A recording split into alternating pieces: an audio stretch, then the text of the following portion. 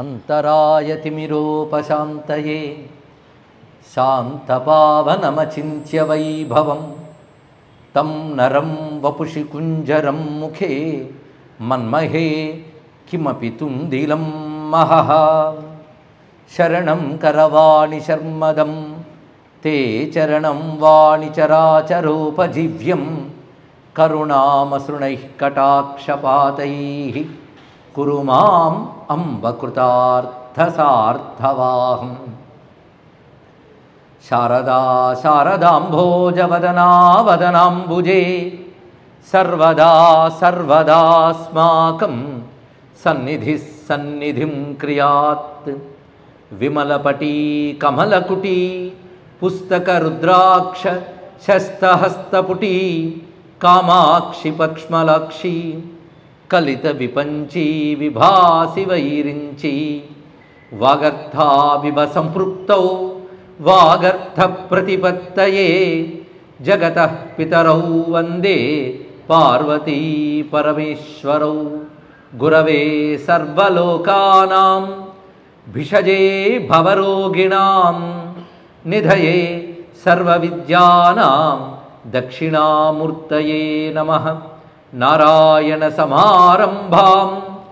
व्यासशङ्करमध्यमाम् अस्मदाचार्यपर्यन्तां वन्दे गुरुपरम्परां नारायणं नमस्कृत्य नरं चैव नरोत्तमं देवीं सरस्वतीं व्यासं ततो जयमुदीरयेत् यज्ञेश अच्युतगोविन्द माधव अनन्तकेशव कृष्णविष्णो हृषीकेश वासुदेव नमोऽस्तु ते श्रीवासुदेव नमोऽस्तु ते श्रीवेङ्कटाचलाधीशं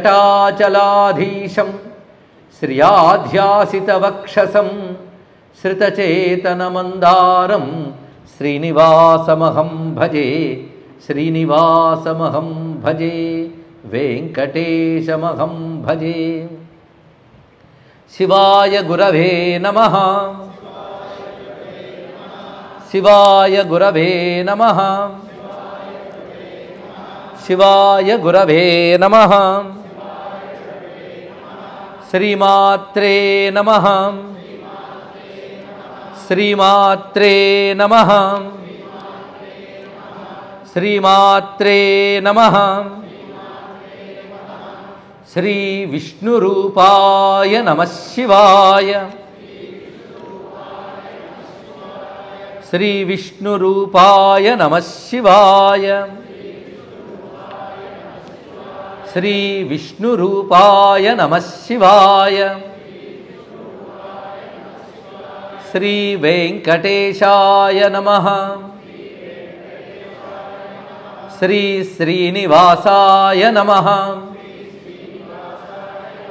శ్రీ శ్రీ గోవిందాయ నమ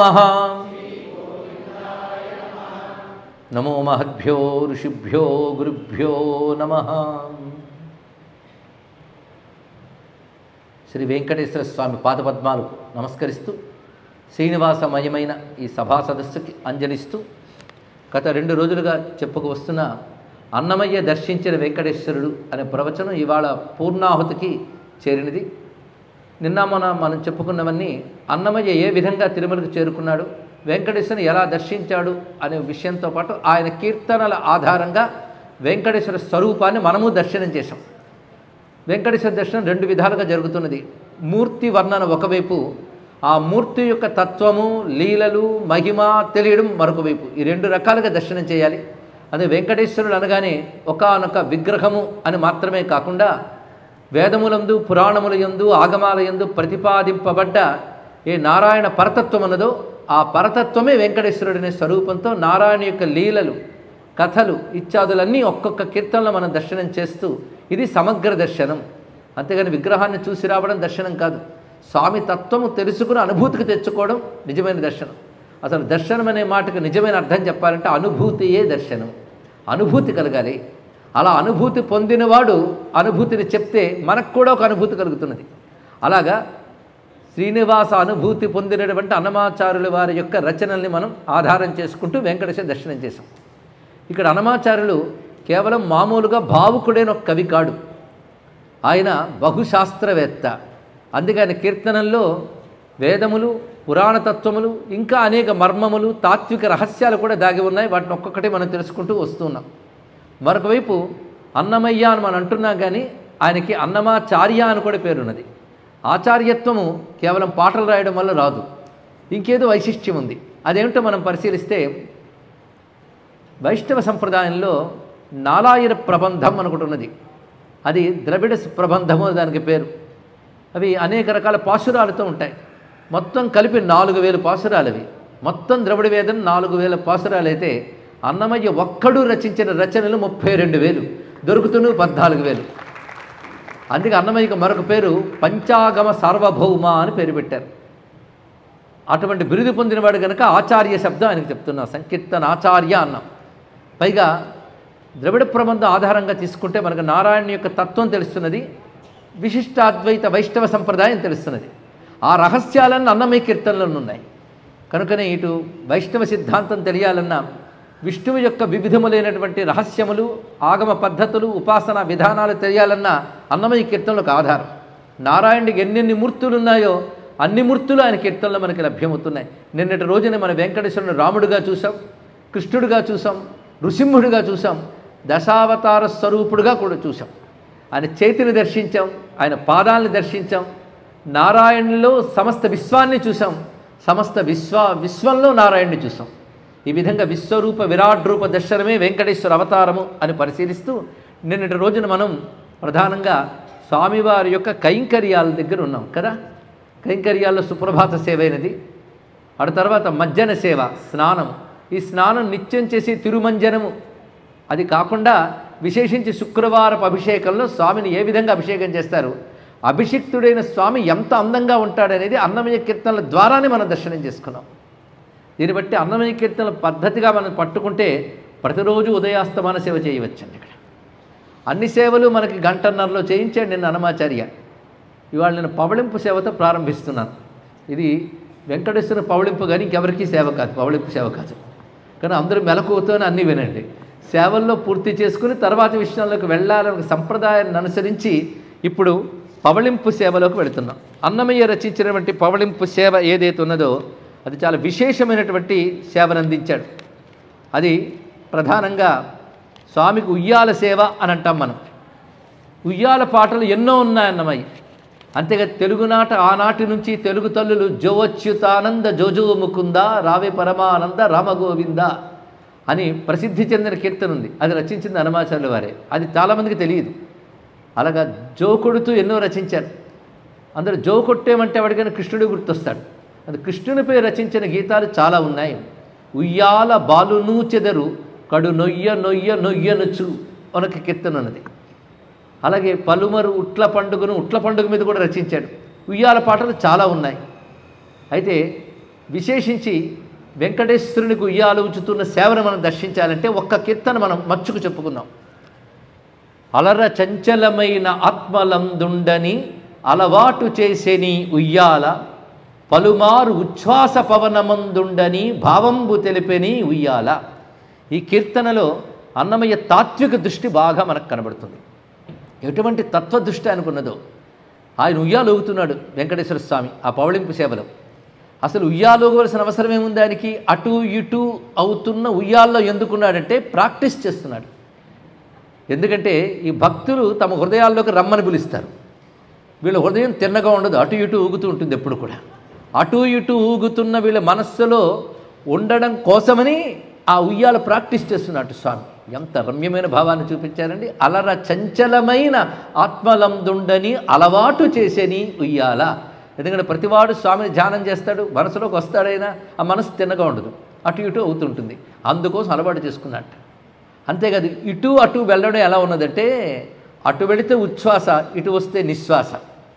ఉచ్ఛ్వాస నిశ్వాసంలో నేనే ఉన్నాను అని చెప్పడానికి ఆయన ఉయ్యాల్లో ఊగుతున్నాడు అన్నాడు పలుమారు ఉచ్ఛ్వాస పవనమందుండని భావము తెలిపెని ఉయ్యాల. దీని రహస్యం ఏంటంటే ముఖ్య ప్రాణోపాసన అని ఉపాసనా విద్య రహస్యాన్ని చెప్పాడు అన్నమాచార్య వారు ఇక్కడ. ఎందుకంటే భగవంతుని ఉపాసన మంత్రము చేసేటప్పుడు ప్రధానంగా శబ్దంతో అంటూ ఉంటాం మనస్సులో అనుకుంటాం. కానీ ఉచ్ఛ్వాస నిశ్వాసలతో కలిపి భగవన్నామాన్ని భగవన్ మంత్రాన్ని జపం చేయడం ఉత్కృష్ట ఉపాసన అని శాస్త్రం చెప్తోంది. దీన్ని సగర్భ జపం అంటారు ఇక్కడ. ఉచ్ఛ్వాసతో ఒకమారు నిలిపి ఒకమారు నిశ్వాసతో మరొకమారు ఈ క్రమంలో చేస్తే మంత్రసిద్ధి తొందరగా వస్తుంది అని. మనకు తెలియకుండా మంత్రం చేస్తూ చేస్తూ చేస్తూ ఉంటే అది ఊపిరిగా మారిపోతుంది. అలా మారినప్పుడు మంత్రసిద్ధి అంటారు. అంతేగాని ఇవాళ నేను ఊపిరి తీస్తాను అనుకుని మనం ఊపిరి తీయట్లేదు ఊపిరి ఆపుదామని ఆపట్లేదు. అది సహజంగా జరిగిపోతుంటుంది మనలో. ఊపిరి ఎంత సహజంగా జరుగుతుందో మంత్రం కూడా అంత సహజంగా జరిగితే వాడు గొప్ప ఉపాసకుడు అంటారు. అలాగా మంత్రరూపుడువైన నువ్వు మా ఉచ్ఛ్వాస నిశ్వాసాల్లో సంచరి సంచరిస్తూ ఉంటావు. దానికి సంకేతంగా ఉయ్యాల్లో అటు ఇటు ఊగుతున్నావా స్వామి అన్నారు. ఇది మామూలు ఉయ్యాల పాట అండి ఆలోచిస్తే. కాబట్టి అన్నమయ్య కీర్తనలు ఆలోచిస్తే అధ్యాత్మ రహస్యాలు. సంకీర్తనాచార్యుడు అలా అందిస్తూ ఉయ్యాల్లో ఎన్ని దర్శిస్తున్నాడు చూడండి. ఉదయాస్త శైలంబులొనర కంబములైన ఉడుమండలము మోసె నుయ్యాల అదన ఆకాశ పదము అడ్డదూలంబైన అఖిలంబు నిండెని ఉయ్యాల. ఆయన ఉయ్యాల్లో ఉన్నాడా? నిజానికి విశ్వమంతా ఆయన ఉన్నాడు. అప్పుడు విశ్వమంతా ఉయ్యాలే అన్నాడు ఈయన. అది ఎలాగో అంటే ఉదయ పర్వతం ఒకటి అస్తపర్వతం ఒకటి ఈ రెండు రెండు కంబములుగా స్తంభాలుగా ఉంటే ఆ పైన ఆకాశ పదము అడ్డదూలముగా ఉన్నది. సమస్త విశ్వము అందులో శయ్యగా అమరింది. దాంట్లో నారాయణుడు ఉయ్యాలుగుతున్నాడు అంటూ సమస్త విశ్వములో పరమాత్మ ఉన్నాడన్న భావాన్ని దర్శించారు. అదేవిధంగా మరొక దర్శనం ఒక్క ఉయ్యాల్లో ఎన్ని దర్శనాలు ఒక్క పాటలో చేశాడండి ఆయన.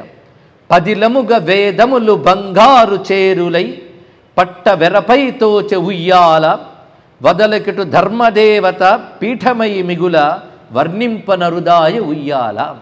ఆ ఉయ్యాలు ఊచుతున్నట్ట. లాలనుచు నువ్వు చేరు లలన రిరుగడల బలగండవర గోపాల నిను చాలా మరొక ఉయ్యాల పాట. అందులో ఊచుతున్నది ఎవరు అంటే ఆ దేవకాంతలు గోపకాంతలు ఊచుతున్నారు. ఆ ఊచుతున్న వాళ్ళకి పట్టుకోవడానికి భయం వేసింది ఒక్కసారి ఉయ్యాల. ఎందుకంటే దాని అసలు స్వరూపం చూడగానే భయం వేసింది. మామూలు తాళ్ళు కాదు. సాధారణంగా ఇటు రెండు అటు రెండు వచ్చేటట్టుగా చేరులు కడతారు. అది బంగారపు గొలుసులతో కూడా కట్ కడతారు. స్వామివారికి ఏం కొదవా? అలాగే చేరులు కట్టించారు. మొత్తం నాలుగు వస్తాయి కదా. ఈ నాలుగు ఏమిటంటే వేదములు బంగారు చేరులై వేదములే బంగారు చేరులయ్యాయి అది పట్టుకున్న దేన్ని మధ్యలో ఉయ్యాల భాగాన్ని పట్టుకుంటుంది అది. అదేమిటంటే ధర్మదేవత పీఠమై. కనుక వేదాలు ధర్మాన్ని పట్టుకున్నాయి. ఆ ధర్మమునందు స్వామి ఉన్నాడు. అది స్వామి దొరకాలంటే ధర్మం ఉండాలి. ధర్మం ఉంటేనే స్వామి ఉంటాడు. ఆ భావాన్ని అంత చక్కగా తెలియజేశాడు. దీన్ని బట్టి అన్నమయ్య కేవలం పాటగాడు కాదు తాత్వికుడు భావుకుడు ఆచార్యుడు ఉపాసకుడు సిద్ధపురుషుడు. అటువంటి మహానుభావుడు రచించిన కీర్తనల ఆధారంగా చూస్తున్నాం. మేలు కట్లై మీకు మేఘమండల మెల్ల మెరుగునకు మెరుగాయనుయ్యాల నీ నీలశైలము వంటి నీ మేనికాంతికి నిజమైన తొడవాయ ఉయ్యాల. అసలు మేఘమండలలా కనబడుతుంది. పైగా మేఘమండలములో మెరుపులు ఎలా ఉంటాయో అలా ప్రకాశిస్తుంది ఉయ్యాల. అప్పుడు స్వామి ఎలా ఉన్నాడంటే ఈయన ఎలాగో నీలమేఘశ్యాముడే కదా సరిగ్గా సరిపోయింది ఇద్దరికీ కూడా అని వర్ణిస్తున్నాడు. పైగా పాలిండ్లు కదలగా పయ్యదులు రాపాడ భామినులు వడను వడినూచె ఉయ్యాల ఓలి బ్రహ్మాండములు ఒరుగునోయను భీతి ఉయ్యనయ్యన ఊచి రుయ్యాల. అక్కడ కాంతలు ఉయ్యాలు ఊచుతున్నారు కానీ వాళ్ళకు కుదిరి భయం వేసింది. ఎందుకంటే ఆయన లోపల బ్రహ్మాండములు ఉన్నాయి. గట్టిగా ఊచితే బ్రహ్మాండాలు ఊగిపోతాయేమని భయంతో నెమ్మదిగా ఊచుతున్నారు. అలా ఊచుతూ ఉంటే కనులారో చూసి నమస్కరిస్తూ చుట్టూ ఉన్న వాళ్ళు ఎవరు అంటే కమలాసనాదులకు కన్నులకు పండుగై గణుతింప నరుదాయ ఉయ్యాల కమనీయమూర్తి వెంకటశైలపతి నీకు కడువైడికయ్యుండే ఉయ్యాల అంటూ ఆ ఉయ్యాల సేవ మన చేత దర్శింపజేస్తున్నారు. మన భావాలే గోపకాంతలే. ఇప్పుడు చూపించిన ఇన్ని తత్వములతో నారాయణుడు ఉయ్యాలూపాలండి. మనసులోను ఊపిరి దారుల్లోనూ వేదముల్లోనూ విశ్వములోనూ కూడా నారాయణ దర్శించే విధానంతో ఇటు మనసు ఉయ్యాలయ్యింది ఊపిరి ఉయ్యాలైనది వేదములు ఉయ్యాలయ్యాయి ధర్మము ఉయ్యాలయ్యింది ఆఖరికి మేఘమండలం ఉయ్యాలైనది ఇన్ని రకాలుగా ఉయ్యాలను దర్శించిన అన్నమయ్యకు ఒక్కసారి నమస్కారం చేసుకుంటూ తర్వాత కీర్తనల్లో స్వామి రూపాన్ని ఆయన వర్ణించినవి ఎన్నో ఉన్నాయంటూ ప్రతిరోజు ఒకటో రెండో చూపిస్తున్నాం. చూపించి తర్వాత మళ్ళీ పెడుతున్నాం. రూప వర్ణన ఎందుకంటే ధ్యానంలో మిగలాల్సింది రూపమే. విచారణలో మిగలవలసింది తత్వం. ఎప్పుడైనా దేవతా ఉపాసన రెండు విధాలుగా జరగాలి. ఒకటి ధ్యానం రెండవది విచారణ. ధ్యానంలో మూర్తి స్ఫురణ మాత్రమే ఉంటుంది. అక్కడితో ఆగిపోకూడదండి. కొంతమంది మూర్తిని ధ్యానిస్తారు ఆనందిస్తారు. మంచిదే. కానీ ఇంకా పై దశకు వెళ్ళాలి. మనం ధ్యానిస్తున్న మూర్తి యొక్క తత్వం తెలియాలి. అందుకే జపం చేసేటప్పుడు ఉచ్చరిస్తే లాభం లేదు ధ్యానం చేయాలి. ధ్యానం అలా ఉండిపోవడం కాదు తత్వ విచారణతో ధ్యానం చేయాలి. అందుకే నామ ఉచ్చారణ సరిపోదు. మూర్తి ధ్యానం చేయాలి. మూర్తి ధ్యానం సరిపోదు. తత్వ విచారణ చేయాలి. ఈ మూడు ఎలా చేయాలనడానికి అన్నమయ్య పాటలే మనకు ఆధారం. వేరే ఎక్కడో వెతకనక్కర్లేదు. ఈ విధంగా వెంకటేశ్వర భక్తులకి అన్నమయ్య గురువు అండి అన్నమయ్య కీర్తనలన్నిటికీ కలిపి ఒక పేరు పెట్టచ్చు. వెంకటేశ్వర విజ్ఞాన సర్వస్వం ఇది పెట్టుకోవచ్చు. ది ఎన్సైక్లోపీడియా ఆఫ్ వెంకటేశ్వర విజ్ఞాన సర్వస్వం అది. వెంకటేశ్వర సంబంధించి అన్ని విషయములు ఉంటాయి. ఏ ఏ పురాణాల్లో ఎలా చెప్పారో కూడా కీర్తన రచించాడు ఆయన. భాగవతంలో భారతంలో ఫలానా పురాణంలో నీ గురించి ఇలా చెప్పారయ్యా అని స్వామికి చెప్పాడంటే ఎన్ని అధ్యయనం చేశాడు? కేవలం భావుకుడు మాత్రమే కాకుండా అనేక శాస్త్రములు అధ్యయనం చేసిన మహానుభావుడు. అందుకే నేను మనం చెప్పుకున్నది శృతులై శాస్త్రములై పురాణముకులై సుజ్ఞాన సారంభులై ఉన్నటువంటి అన్నమయ్య కీర్తనల్లో స్వామి యొక్క నిలువెత్తు రూపాన్ని వీలైనంత దర్శిద్దాం. కంటి కంటి నిలువు చక్కని మేను దండలను.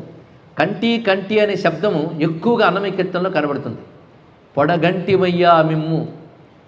కంటి అఖిలాండ కర్త నదుకునే కంటి ఇప్పుడిటు కలగంటి. ఎన్ని కంటి ఎన్ని గంటి కనబడతాయి. కంటే గంట అవుతుంది. ఈ కంటి కంటి అని రచించింది పదిహేను శతాబ్దంలో హనుమాచార్య వారు.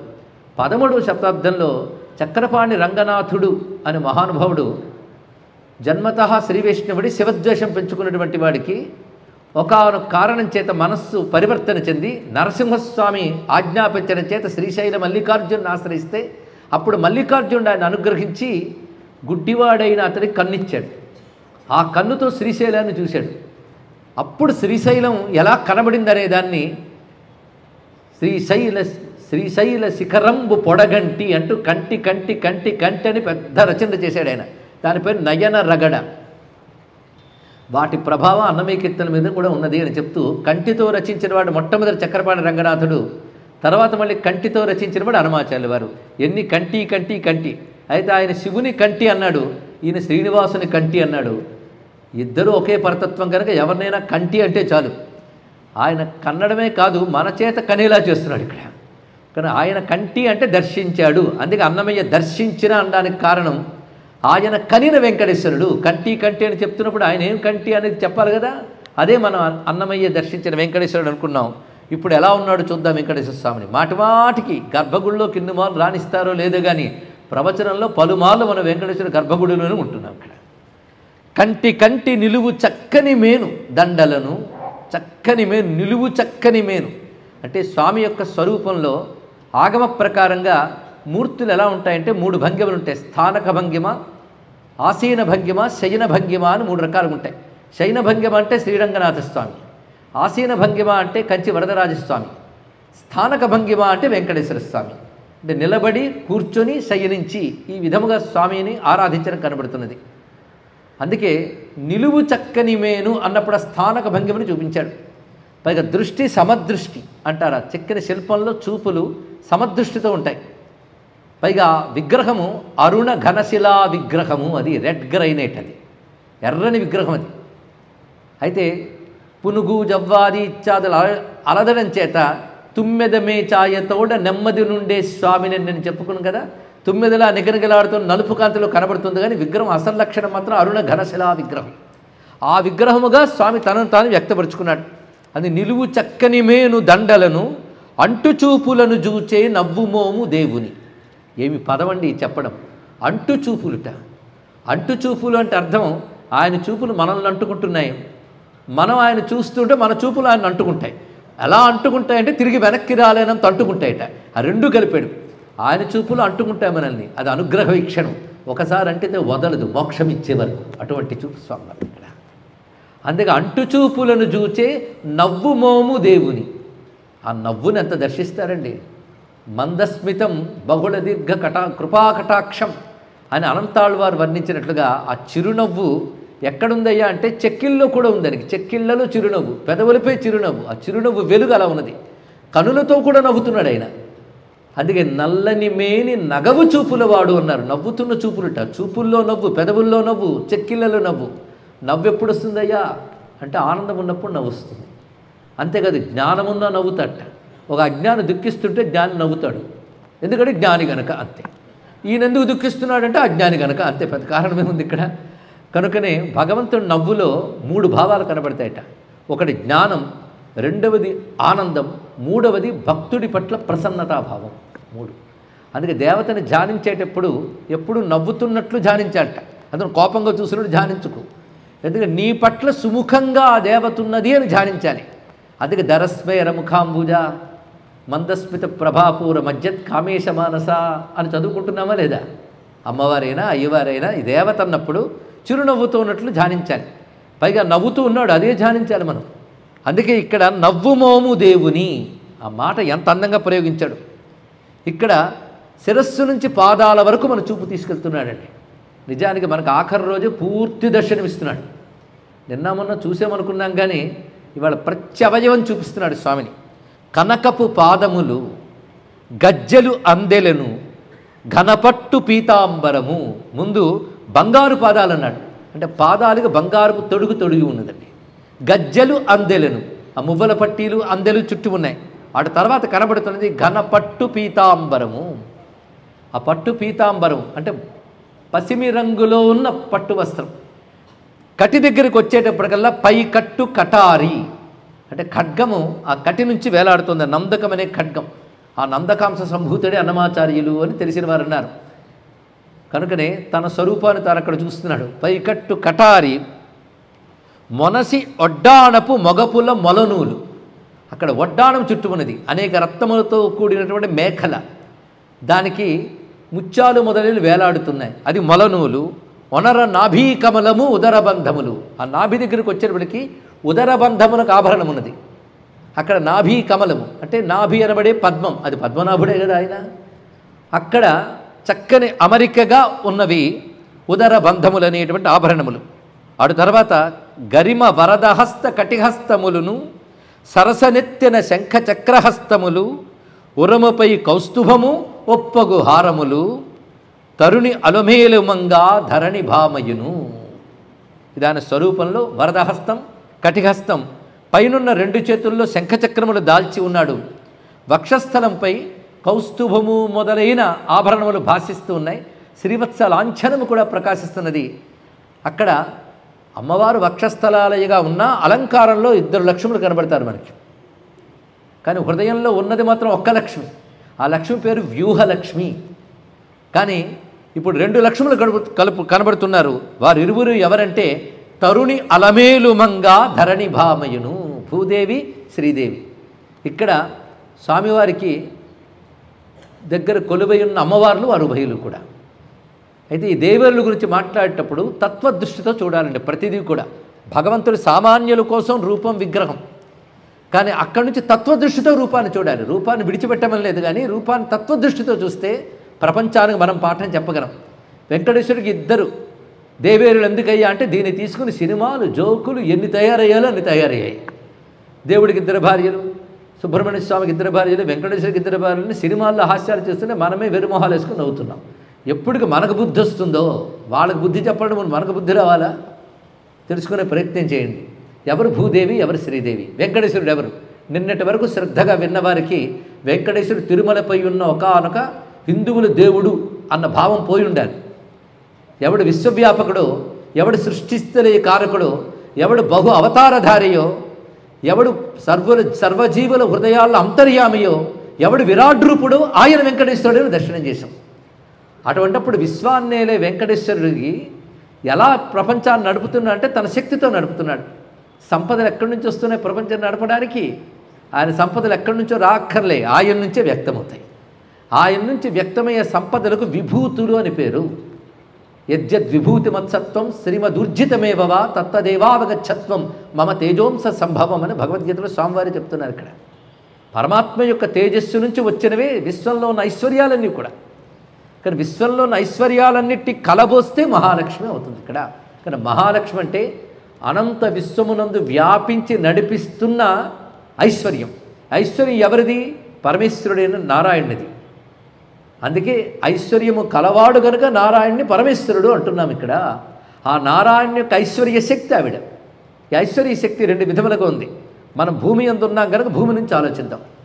ఒకటి మన భూమి ఎందు ఐశ్వర్యం ఉంది. లేకపోతే బ్రతుకుతున్నామా?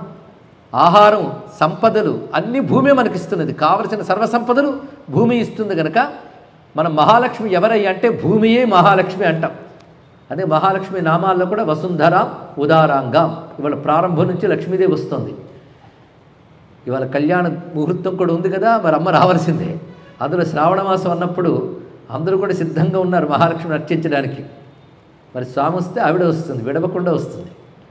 భూలక్ష్మి కనుక భూమి ఎందున్న లక్ష్మి మనకు కావాలా లేదా చెప్పండి ఇక్కడ.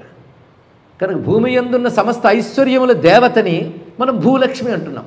అయితే భూమికి ఈ లక్ష్మి ఉంటే సరిపోతుందా అంటే సమస్త విశ్వం సంగతి ఏమంటాం అనంతమైన అంతరిక్షంలో ఎంత ఐశ్వర్యం ఉన్నదో అక్కడి నుంచే కురిసే వర్షం అక్కడి నుంచి కురిసే కాంతి అక్కడి నుంచి వచ్చే శక్తి ఇవన్నిటి వల్ల మనం భూమి నుంచి పొందుతున్నామంటే విశ్వమంతా ఒక మహాలక్ష్మి ఉన్నది భూమి ఎందు ఒక మహాలక్ష్మి ఉన్నది.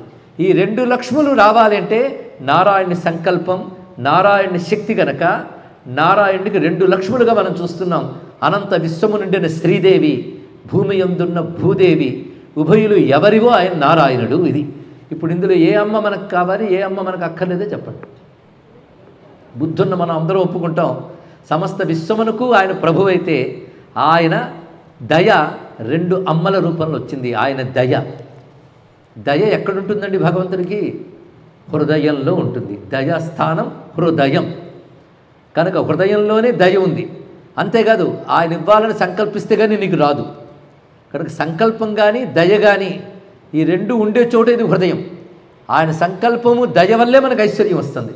కనుక మహాలక్ష్మి ఎక్కడ కూర్చుంది అంటే సంకల్పము దయ ఏ హృదయంలో ఉంటుందో అక్కడ కూర్చుంది మహాలక్ష్మి. ఆ స్వరూపం నేనే అని. కనుక అమ్మవారంటే ఎవరంటే నారాయణ యొక్క దయ నారాయణ యొక్క సంకల్పం నారాయణ యొక్క శక్తి. ఆవిడ కూర్చునుందండి. రెండు రూపములతో ఉందిట హృదయంలో. ఉన్నది వ్యూహలక్ష్మి అనబడే రూపం హృదయంలో ఉంటుంది. అందుకని శ్రీ నివాసుడు వ్యూహలక్ష్మి మంత్రం ఒకటి మంత్రశాస్త్రంలో ఉన్నదండి. అవన్నీ తెలియకపోయినా శ్రీ మ వ్యూహలక్ష్మి అయిన మహాన మంత్రం చేసుకున్న చాలు. ఈ వ్యూహలక్ష్మి స్వరూపం స్వామి యొక్క హృదయంలో మాత్రమే ఉన్నది. ఒక మహానుభావుడు దరిద్రంచే బాధపడుతున్న ఆయన ఋషుల చేత ప్రేరేపింపబడి స్వామి పుష్కరంలో స్నానం చేసి వ్యూహలక్ష్మి ఉపాసన చేస్తే దరిద్రం పోయింది అని వెంకటాచల మహాత్మ్యం చెప్తున్నటువంటి అంశం అది. మనం ఇవాళ స్వామి రూపాన్ని ధ్యానిస్తున్నాం. ఎవరు అదృష్టవంతులు వారి స్వామి రూపాన్ని కళ్ళు తెరిచి చూస్తున్నారు అంతే కదా? పాదముల నుంచి శిరస్సు వరకు వెళుతున్నాం ఇప్పుడు ఎక్కడి దాకా వచ్చాం హృదయం దాకా వచ్చాం. కానీ వ్యూహలక్ష్మిగా హృదయంలో ఉన్నది ఒక్కటైనా ఆ లక్ష్మి రెండు లక్ష్ములుగా ఉన్నదయ్యా అని చెప్పడానికి స్వామికి అలంకారంలో రెండు లక్ష్ములను చూపిస్తారండి ఇక్కడ. ఆ రెండు లక్ష్ములు ఎవరో వర్ణిస్తున్నాడు. తరుణి అలమేలు మంగ ధరణి భామయను. అలమేలు మంగ అనే మాట మనం వాడతాం. ఎందుకు? అమ్మవారు అసలు పేరేమిటి? అలమేలుమంగ పద్మావతి నిద్దరు ఇద్దరు లేరు ఇది తెలియక చాలామంది కొండ మీద అలమేలుమంగ కింద పద్మావతి ఇవన్నీ తెలిసి తెలియని పిచ్చి కథలు పుట్టించారండి ఇక్కడ. ఉన్నది ఒకటే మహాలక్ష్మి. ఆయనలో హృదయంలో ఉన్న లక్ష్మి యోగలక్ష్మి. ఆవిడ ప్రధానంగా స్వరూపం ధరించి మళ్ళీ ఉన్నది పద్మావతి. కానీ రెండూ ఒకటే. రెండు కావు అక్కడ వక్షస్థలంలో కూర్చుంది ఇక్కడ మందిరంలో కూర్చుందంతే. ఈవిడ పేరు పద్మావతి. అంటే పద్మములో కూర్చుని ఉన్నది పద్మములు ధరించి ఉన్నది. ఆవిడే పద్మము. అంటే పద్మస్వరూపుడు కనుక పద్మావతి. మహాలక్ష్మికి కమల పద్మ అనే పేర్లు ఉన్నాయి కదా కనుక ఆవిడే. అంతేకాదు తమిళ భాషలో అలర్ అంటే పద్మము. దాని పైన అంటే అలర్ మేల్.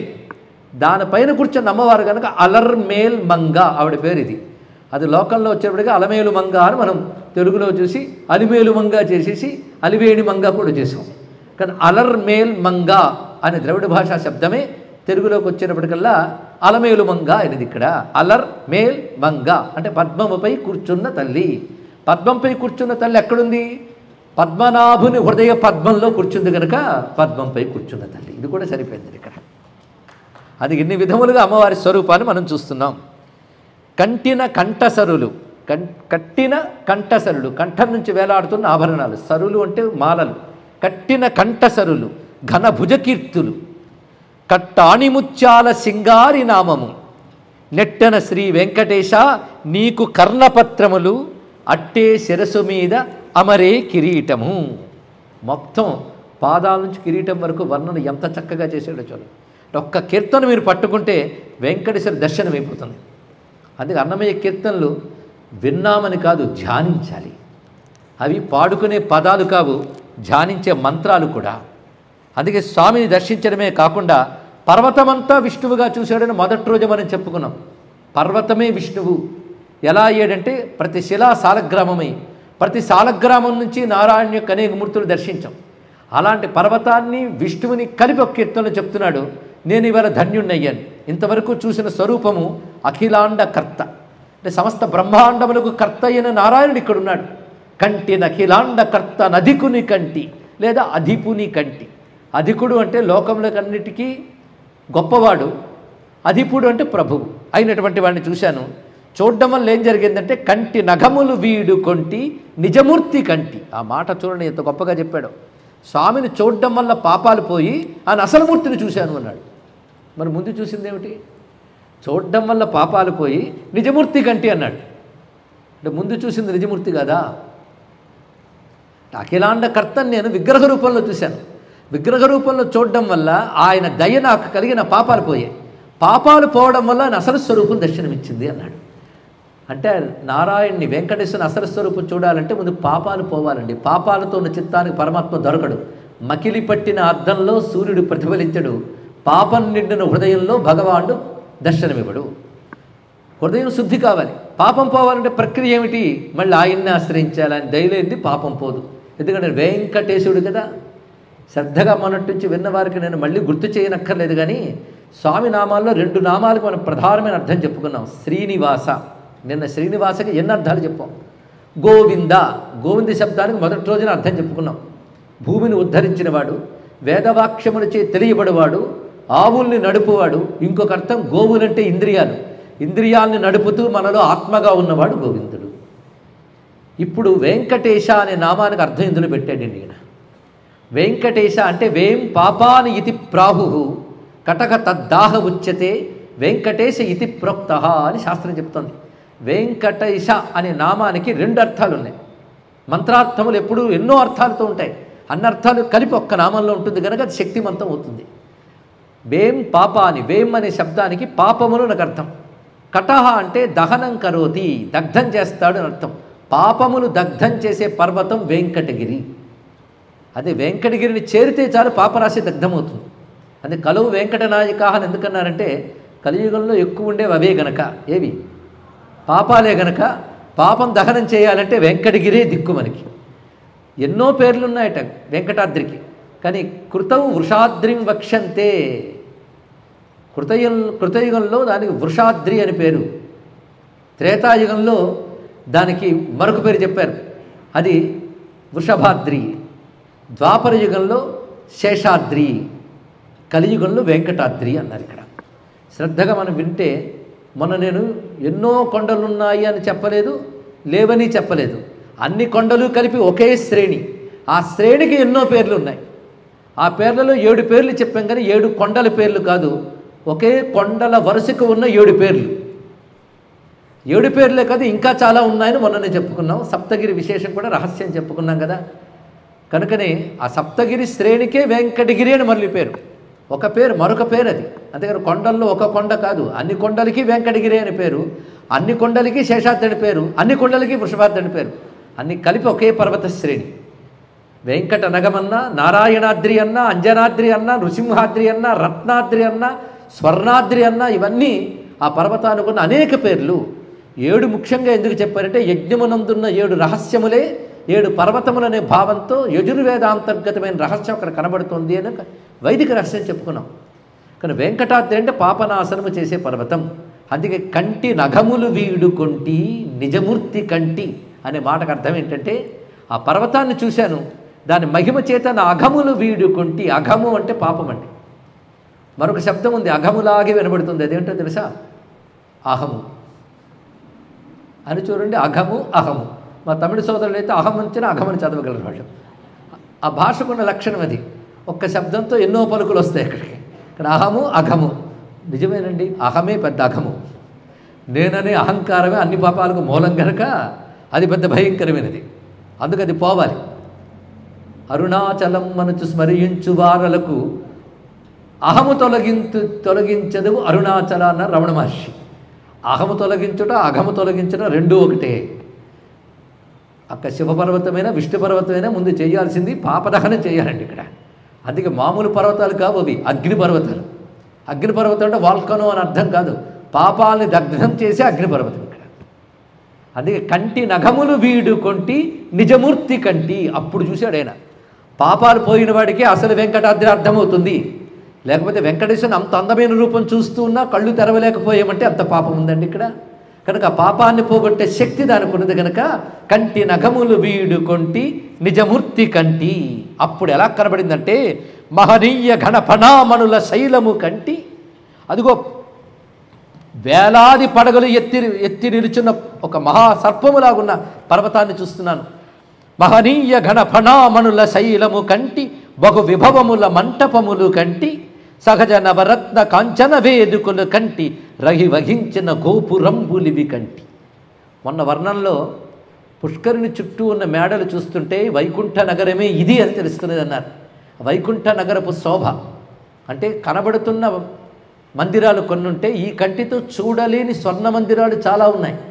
అనేక మండపాలు ఉన్నాయి. అవన్నీ నీకు దర్శనమయ్యాయి పావనంబైన పాప వినాశనము కంటి కైవసంబగు గగనగంగ కంటి.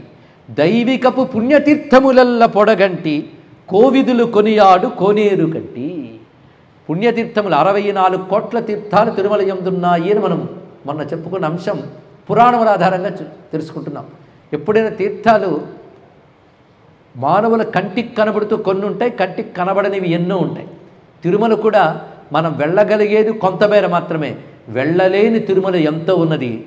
అదంతా విష్ణమయమే అక్కడ ఎంతమంది మనకు తెలియని యోగులు తపస్సును ఆచరిస్తున్నారో.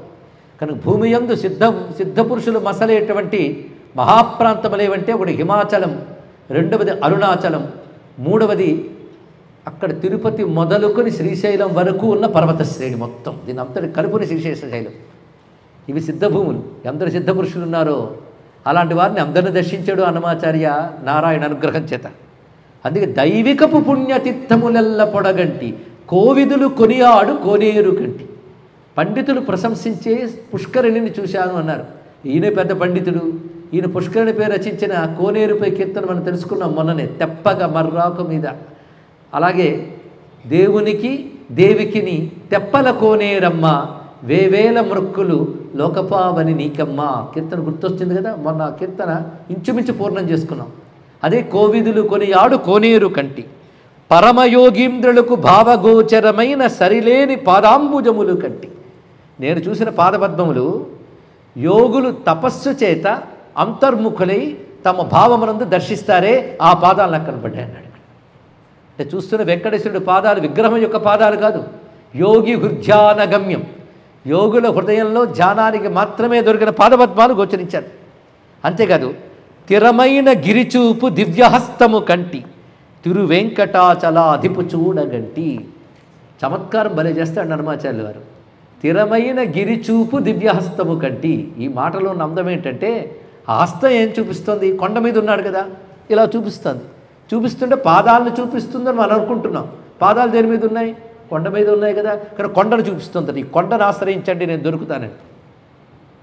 అంతేకాదు ఈ గిరి ఏం చేస్తుంది అయ్యా తిరమైన గిరి అంటే కొండెక్కించి మనకి ఏం చూపిస్తుంది? స్వామి పాదాలు చూపిస్తుంది స్వామి హస్తాన్ని చూపిస్తుంది. కనుకనే ఈ కొండ చూపిస్తున్న చెయ్యిని చూస్తున్నాను కొండని చూపిస్తున్న చేతిని చూస్తున్నాను అన్నాడు. అది రహస్యం ఇక్కడ. అంటే కొండెక్కితే కనబడేది ఆ చెయ్యి చెయ్యి చూపిస్తున్నది ఆ కొండని. కనుక రెండు విధాల అందం చూపించాడు. అందుకే తిరమైన గిరిచూపు దివ్యహస్తము కంటి తిరు వెంకటాచలాధిపు చూడగంటి కంటి నఖిలాండ కర్తన అధికము అధికుని కంటి అంటూ ఇవాళ మనం మళ్ళీ స్వామిని పాదాల నుంచి శిరస్సు వరకు చూసి మళ్ళీ తిరుమల అంతా ఒక్కసారి చూసొచ్చాం. ఇంక ఇప్పుడు వేడుకలు చేసుకోవడానికి సిద్ధమవుతున్నాం. ఇంతవరకు కైంకర్యాలు అయిపోయాయి. మేలుకొలుపు సేవ నుంచి పవళింపు సేవ వరకు ఎన్ని సేవలు చూసాం? ఇక స్వామికి సేవలు నిత్యం ఎన్ని ఉంటాయో అసలు ఆలయాలకి సేవలు ఉత్సవాలు బలమండి ఇక్కడ. ఉత్సవాలు నిత్యోత్సవ వారోత్సవ పక్షోత్సవ మాసోత్సవ సంవత్సరోత్సవ ఇలా ఎన్నో చెప్పబడుతుంటాయి ఇక్కడ. ఈ ఉత్సవాల వల్ల ఈ నిత్య కైంకర్యాల వల్ల శక్తి వృద్ధి చెందుతుంది. అదే ప్రతిష్ఠితమైన మూర్తి అయితే నిత్య కైంకర్య సేవల ఉత్సవాల వల్ల మంత్రబలం చేత కైంకర్య బలం చేత విగ్రహంలో శక్తి మరింత మరింతగా విజృంభిస్తుంది. ఆ విజృంభించిన శక్తి సమస్త విశ్వాన్ని కాపాడుతుంది. అందుకే భారతదేశం ఇంకా ఇలా పచ్చగా ఉందంటే ఆసేతు సీతాచలం ఉన్న మందిరాల్లో జరుగుతున్న కైంకర్య ఉత్సవాల బలమే ఒప్పుకుంటున్నప్పుడు అందుకే ఈ ధర్మాన్ని కాపాడుతున్నవి ప్రధానంగా ఆలయాల్లో జరుగుతున్న కైంకర్యాదులైతే రెండవది మహాత్ములైన సిద్ధపురుషుల తపస్సు కాపాడుతుంది ఇక్కడ ఆ రెండిటి ఆ రెండే మన దేశాన్ని మన ధర్మాన్ని కాపాడుతున్న మరువద్దు. అందుకే ఋషిభ్యో నమ దేవేభ్యో నమ. ఇద్దరికీ నమస్కారం మనం చేసుకోవాలి వాళ్ళ వల్లనే. లేకపోతే ఏది పడితే తిని ఎలా పడితే అలా బతికేసే మన వల్ల కాదు. ఆలయాల వల్ల ఋషుల వల్ల బ్రతుకుతున్నాయి. అందుకే ఆ ఋషి పరంపరని ఆలయ ధర్మాల్ని దెబ్బతినడానికి దెబ్బతీయడానికి దుష్టశక్తులు కలియుగంలో ప్రయత్నిస్తూ ఉంటాయి. ఏమైనప్పటికీ మన వంతుగా మన ఆలయాలంటే ఏంటో తెలుసుకోవాలి ఆలయాలను పరిరక్షించుకోవాలి. ఎందుకంటే సగం సగం మిడిమిడి జ్ఞానం ఉన్న వాళ్ళు ఏమంటారంటే గుడికి వెళ్ళాలండి ఆలయాలకు వెళ్ళాలా మనసులో ఉంటే చాలదాని అలాంటి వాడికి మనస్సులో లేదని అర్థం తెలుసుకోండి మనసులో ఉన్నవాడు తప్పకుండా గుడికి వెళ్తాడు గుడికి వెళ్ళే వాళ్ళందరికీ మనసులో భగవంతుడు ఉన్నాడో లేదో తెలియదు కానీ మనసులో ఉన్నవాడు మాత్రం గుడికి వెళ్ళి తీరుతారండి అందుకే అంతటా భగవంతుడు చేసే శక్తి అన్నమాచారికి లేదా? ఆయనకంటే జ్ఞానులమా? ఆయన వెళ్ళాడు ఆలయానికి. అంతటా భగవంతుడిని చూసే శక్తి ఆదిశంకర భగవత్పాదుల వారికి లేదా? ఆయన వెళ్ళలేదా? భగవద్ రామానుజుల వారు వెళ్ళలేదా? త్యాగయ్య దర్శించలేదా? వాటి శక్తి మనకు ప్రసరిస్తే మనలో పాపరాశి దగ్ధమవుతుంది. కొందరు అంటారు గుడికి వెళ్ళాను కానీ ఏం అనుభూతి రాలేదు ఏంటంటే అబ్బా అనుభూతి వచ్చేది తపస్సు ఉందా తమరి దగ్గర? అనుభూతి రావాలంటే ఎంత తపస్సు రావాలండి? ఒక్కసారి అరుణాచలం వెళితే మరి తిరిగి రాకుండా అంటుకుపోయినటువంటి వాడు రమణ మహర్షి. ఏది? మనం ఎన్ని మాలు వెళ్ళి వచ్చాం ఎన్ని మాలు వెళ్ళి వచ్చాం? అది. ఇంకా వెంకటేశ్వరుని చూసి ఆయన అనుభూతి పొందాలంటే దానికి తపస్సు ఉండాలి. అందుకే మనకు దర్శనాలు జరుగుతాయి వాడికి అనుభూతులు దొరుకుతాయి. కనుక వారు అనుభూతే దర్శనం. అన్నమయ్య దర్శించిన అంటే అన్నమయ్య అనుభూతి పొందిన అని అర్థం. అందుకే వాళ్ళ ప్రారంభంలో చెప్పుకున్నాం. భగవద్ అనుభూతి కలగాలండి. అనుభూతి కలగలేదని దర్శనం ఆపేయకూడదు. ముందు పాపాలైన నాశనం అవుతాయి. అందుకు వెళ్ళాలి ఇక్కడ. ఆ శక్తి మనల్ని కాపాడుతుంది. మన నమ్మకంతో పని లేదు. మన విశ్వాసంతో పని లేదు. ఆలయంలో వెళ్ళి విగ్రహం ముందు నిలబడితే చాలా శక్తి మనల్ని అనుకరిస్తుంది అంత శక్తివంతమైన ఆలయ వ్యవస్థ హిందూ మతానికి మాత్రమే ఉందని నేను సగర్వంగా సంతృప్తిగా చెప్పగలను. అటువంటి ఆలయాల్లో భవ్యమైన వెంకటగిరి ఇప్పటికీ ఉత్సవాలు పద్ధతిగా జరుగుతూ ఉంటాయి. ఎన్ని ఉత్సవాలండి? తిరుప్పావడి ఉత్సవం అంటారు. సహస్ర దీపాలంకరణ ఉత్సవం అంటారు. ఇంకా విశేషించి మనకు తెలిసి కొన్ని తెలియక కొన్ని ఉత్సవాలు జరుగుతూనే ఉంటాయి. మన దర్శనాదులతో నిమిత్తం లేకుండా. ఇంచుమించు అన్ని ఉత్సవాలు ఈయన రచించారండి ఇక్కడ. ఇక ముఖ్యంగా పుష్పోత్సవం. వెంకటేశ్వరుడు పుష్పమండప ప్రియుడు. అందుకే ఒక్కొక్క చోట ఒక్కొక్కటి పేరున్నదని చెప్పుకున్నాం. వెంకటగిరి పుష్పమండపము అంటారు దాన్ని. అందుకే పువ్వులు ప్రధానం వెంకటేశ్వరుడికి. పుష్పసేవ ఎక్కువ. నిత్యము ఎన్ని రకాల పువ్వులు వేస్తారో దానికోసం ఉద్యానవనాలు ఆ ఉద్యానవనం పెంచడం కోసమని అనంతాలు వారు కష్టపడ్డారని నేను చెప్పుకున్నాను. పైగా పుష్పమండపం అని చెప్పబడుతున్న తిరుమలలో స్వామికి పుష్ప యాగమ చేస్తారు. యాగం అంటే మాటి మాటికి అగ్నిలో నెయ్యి వేయడం కాదు. పూజలన్నీ యాగములే పూజలన్నీ యజ్ఞాలే. యజ్ఞం అనే మాటకే యజ అనే మాటకి ఆరాధన అని అర్థం ఇక్కడ. యజ్ఞం అనగానే ఆరాధన. అది నిప్పులో వేయచ్చు విగ్రహాన్ని పూజించు అభిషేకం చేయొచ్చు. ఏదైనా యజ్ఞములేనండి. ఆఖరికి జపం చేసిన యజ్ఞమే. ధ్యానం చేసిన యజ్ఞమే. ఇంద్రియ నిగ్రహం కూడా యజ్ఞమే అని భగవద్గీతలో కృష్ణుడే చెప్పాడు. భగవత్ సంబంధమైన ఏ కర్మ యజ్ఞమే అనిపించుకుంటుంది. అలాగే పుష్పయాగం. ఈ పుష్పయాగమే పూలంగి సేవ. మరి ఆయన పుష్పమండపం అన్నప్పుడు మనం కూడా ఇవాళ పుష్పయాగం చేసేస్తే పోతుంది. పుష్పయాగం అనేటువంటిది అన్నమయ్య కాలంలో ఉండేది అని తెలుస్తున్నది. తర్వాత కృష్ణదేవరాయలు మొదలైన వారు కొనసాగించారు. అన్నమయ్య కాలం కృష్ణదేవరాయల కాలం అతి సమీపమే. తర్వాత కొంతకాలం కొనసాగి పుష్పయాగం ఆగిపోయింది. తర్వాత అందరూ మర్చిపోయిన దశకు వెళ్ళింది. కొంతకాలం క్రితం పెద్దలు కీర్తిశేషులు పివిఆర్కే ప్రసాదరావు గారి ఆధ్వర్యంలో ఎన్నో మంచి పనులు జరిగే తిరుమల తిరుపతి దేవస్థానానికి హనుమాచార్య ప్రాజెక్ట్ స్థాపన ఇత్యాదులని. వారు మళ్ళీ పుష్పయాగాన్ని తిరిగి ఉద్ధరణ చేశారు. అలాగా అసలు పరంపరగా వస్తున్న కైంకర్యాలు ఏమిటి ఆలయానుకున్న ప్రత్యేకతలు ఏమిటి ఆలయానుకున్న సాహిత్య సంగీత సంపదలు ఏమిటి అవి తెలుసుకుని పరిరక్షించే బాధ్యత కలిగిన అధికారులు వెంకటగిరికి లభించాలని మన వెంకటేశ్వరికి ప్రార్థన చేద్దాం. దానివల్ల వెంకటేశ్వర సంస్కృతి వెంకటేశ్వర సంప్రదాయం వెంకటేశ్వర చరిత్ర కాపాడబడుతుందండి. ఒక ఆలయానికి ఒక చరిత్ర ఉంటుంది ఒక సంస్కృతి ఉంటుంది ఒక పరంపర ఉంటుంది ఒక సంప్రదాయం ఉంటుంది. అందుకే భారతదేశపు ఆలయాలు మత కేంద్రములు మాత్రమే కాదు వేల వేల సంవత్సరాల ఘన చరిత్రకి ప్రాకారాలు మన ఆలయాలు. అటువంటి చరిత్ర కూడా మనకున్నది. అందుకే తిరుమలగిరిని తలంచుకుంటే కృష్ణదేవరాయలు లాంటి రాజులు చక్రవర్తులు వాళ్ళు చేసిన సేవలు ఎలాగో అలాగే అన్నమాచార్యులు వారు తరికొండ వెంకమాంబ వ్యాసరాయులు పురంధరదాసు మొదలైన ఎందరు మహానుభావులు ఆళ్వారులు ఎందరు చరిత్ర సంగీతము సాహిత్యము శిల్పము ఇవన్నీ ఒక కాలయం వల్ల మనకు లభిస్తున్నాయండి. అలా మనం చూసినట్లయితే స్వామికి జరుగుతున్న కైంకర్యాలు ఎన్నున్నా ఎన్నుత్సవాలని చెప్పుకుంటాం. అన్నిటికంటే పెద్ద ఉత్సవం ఒక్కటి చెప్తే చాలు. పెద్ద అనే మాటకి సంస్కృతంలో బ్రహ్మ అని అర్థం. బ్రహ్మోత్సవము. ఉత్సవాలన్నింటిలో పెద్దది బ్రహ్మోత్సవం. సాధారణంగా వెంకటేశ్వర స్వామికి బ్రహ్మోత్సవం మాట సరిపోతుంది. ఎందుకంటే మొట్టమొదటిగా చకార కన్యామాసే సౌరమానం ప్రకారం కన్యామాసంలో ఇది సాధారణంగా ఆశ్వీజ మాసం కన్యామాసం సౌరమానం ప్రకారంగా అందుకే ఆ సమయంలోనే బ్రహ్మోత్సవాలు వస్తూ ఉంటాయి.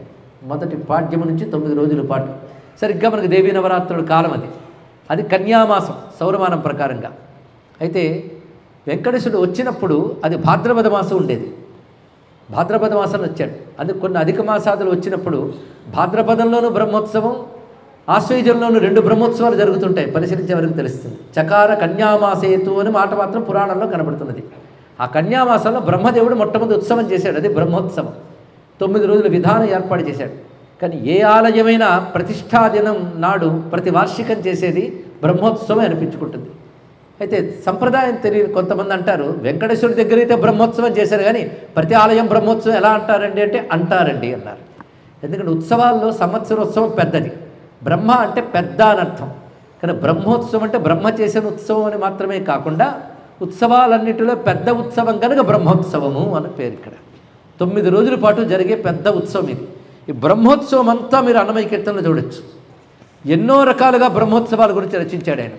అన్ని రకాలు చెప్పుకుంటే ఒక్కొక్క దానికి ఒక్కొక్క ఒక్కొక్క నాలుగైదు రోజులు కావాలి బ్రహ్మోత్సవాలపై రచించిన కీర్తనలు కొన్ని వాళ్ళు స్మరించుకుని మనం మొత్తం మూడు రోజుల్లోనే నిత్యోత్సవ వారోత్సవ బ్రహ్మోత్సవ కైంకర్యాలు దర్శనాలు యాత్రలు అన్నీ చేసేవచ్చు ఈ శ్రమ లేకుండా ఖర్చు లేకుండా. ఇవాళ బ్రహ్మోత్సవం చూస్తున్నాం. బ్రహ్మోత్సవానికి ఎలా వచ్చారో చెప్పేవారు. అప్పుడు వానలు పడే కాలం. అయినా వచ్చేవారట. అన్నమయ్య వర్ణిస్తున్నాడు బ్రహ్మోత్సవానికి ఎలా తండోపతండాలుగా వచ్చేవారు. నానా దిక్కుల నలు నరులెల్లా వానలలోనన్నీ ఒత్తురు కదలి. వానల్లోనే వస్తున్నట్టు వాళ్ళందరూ. సతులు సుతులు పరిసరులు బాంధవులు హితులు కొలువుగా నిందరును శత సహస్ర యోజన వాసులు సువ్రతములతోడని ఒత్తురు కదలి. వారు వారి కుటుంబాలతో సహా వస్తున్నారు. బంధుమిత్ర పరివార సమేతంగా వస్తున్నారు. ఎక్కడి నుంచి? కొన్ని వందల వేల యోజనాల నుంచి వస్తున్నారయ్యా. సువ్రతులు సువ్రతులని దీక్ష వహించి వస్తున్నారు. ఆలయానికి వెళతారంటే సంకల్పం చేసుకుని వెళ్ళే వరకు దీక్షలో ఉండాలి. అటువంటి వారిదే నిజమైన యాత్ర. అందుకని ఇవాళ దొరికింది కదా రూము వెళ్ళిపోదాం కారు వేసుకున్నాను కాదుట. దీక్షగా వెళ్ళిన వాళ్ళదే నిజమైన యాత్ర అండి. అందుకే సువ్రతులు సువ్రతములతోడని ఒత్తురు కదలి అన్నాడు. వ్రతములతో వస్తున్నారు. ముడుపులు జాలెలు మొగి తలమూటలు కడలేని ధనము కాంతులను కడుమించిన కరులు తురగములు వడిగొని చెలగుచు ఒత్తురు కదలి. రకరకాలైనటువంటి మొక్కుబడులు మూటలుగా కట్టి తల మీద పెట్టుకుని కుటుంబాలతో సహా వస్తున్నారు. కొంతమంది వాహనాలతో ఏనుగులు గుర్రాలు మొదలైన వాటితో కూడా వస్తున్నారు. వస్తున్నవాడు సామాన్యులే కాదు ఇంతవరకు సామాన్యులు వర్ణించారు. గొప్ప గొప్ప రాజులు అధికారులు కూడా వస్తున్నట్ట. మకుటవర్ధనులు మండలేశ్వరులు జగదేకపతులు చతురులు తగు వెంకటపతిని దర్శింపగా బహుబగల సంపదల ఒత్తురు కదలి వానలలోనని ఒత్తురు కదలి నానా దిక్కుల నరులెల్లా.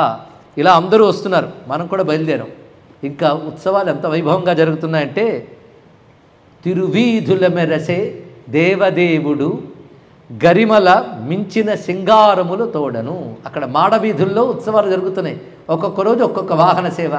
ఆ రోజుల్లో ఎలాంటి వాహన సేవలు ఉండేవి అనే దాన్ని అన్నమాచార్య వారి కళ్ళకు కట్టినట్టు చూపిస్తున్నారండి.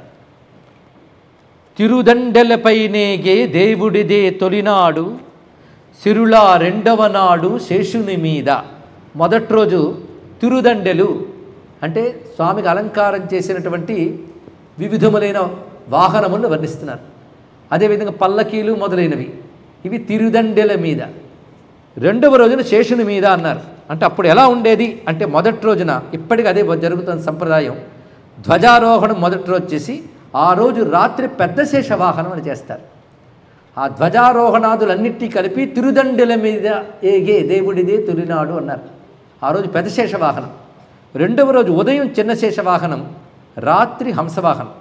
కానీ నేను ఒక వాహనాన్నే ఒక్కొక్క రోజు చెప్పుకుంటూ వస్తున్నాడు.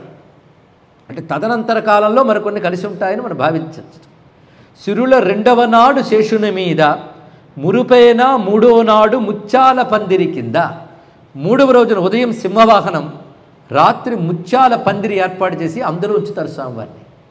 అందుకే మురిసేన మూడో నాడు ముత్యాల పందిరి కింద పొరి నాలుగో నాడు పువ్వు కోవిలలోను పువ్వు కోవిలలో పెడతారట. అంటే పూలతో కోవిల్లా చేసి పెడతారు. అంటే కల్పవృక్ష వాహనం ఆ రోజు ఏర్పాటు అవుతుంది. రకరకాల కల్ప కుసుమాలు విరబూసిన కల్పవృక్షపు నీడలో స్వామివారు ఉంటారు. దాన్ని నేను పువ్వు కోవిల అని వర్ణించాడు.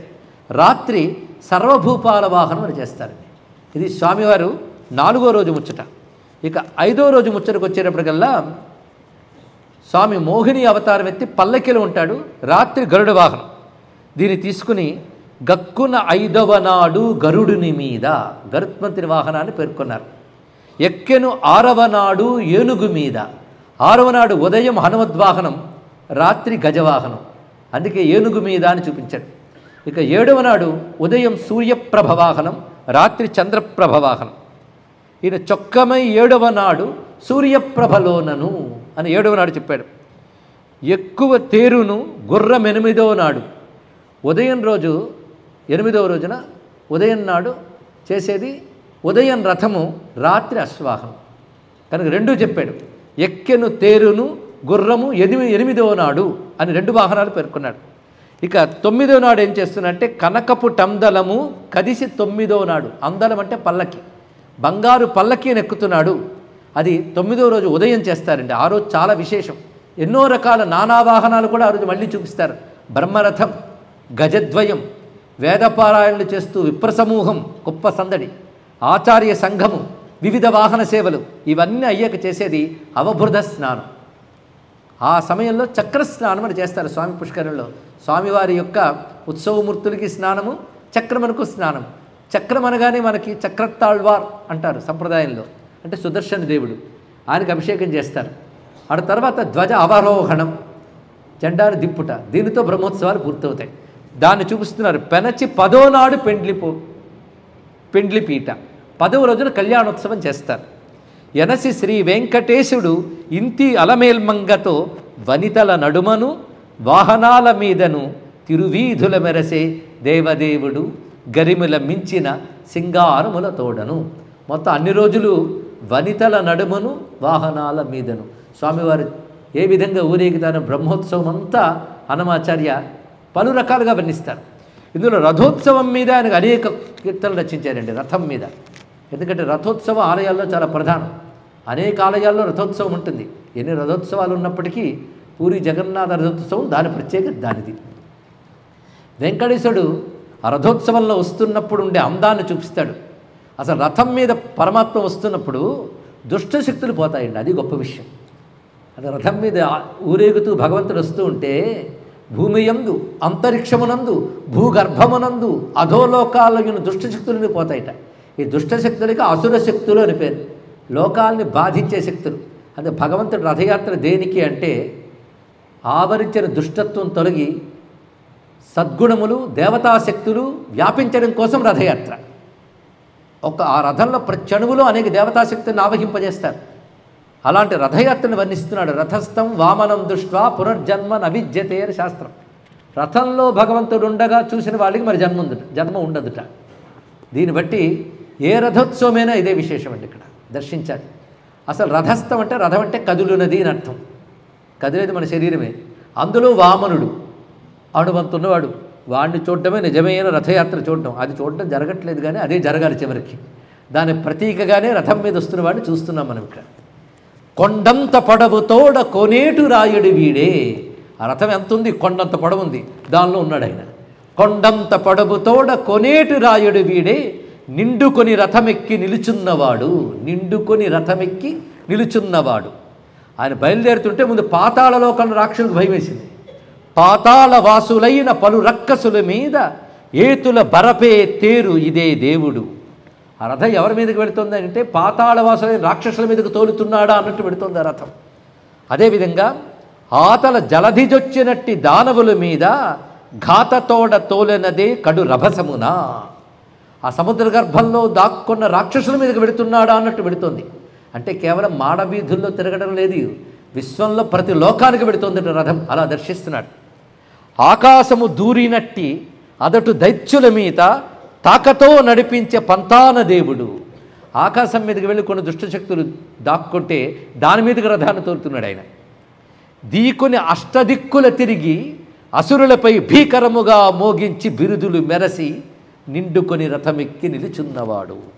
ధర మీద కలిగిన ఇప్పుడు పైలోకం క్రిందలోకం అన్నీ అయిపోయాయి కదా. ధర మీద కలిగిన ధనుజకోటుల నెల్ల సొరుది శ్రీ వెంకటేశుడు పారద్రోలెను.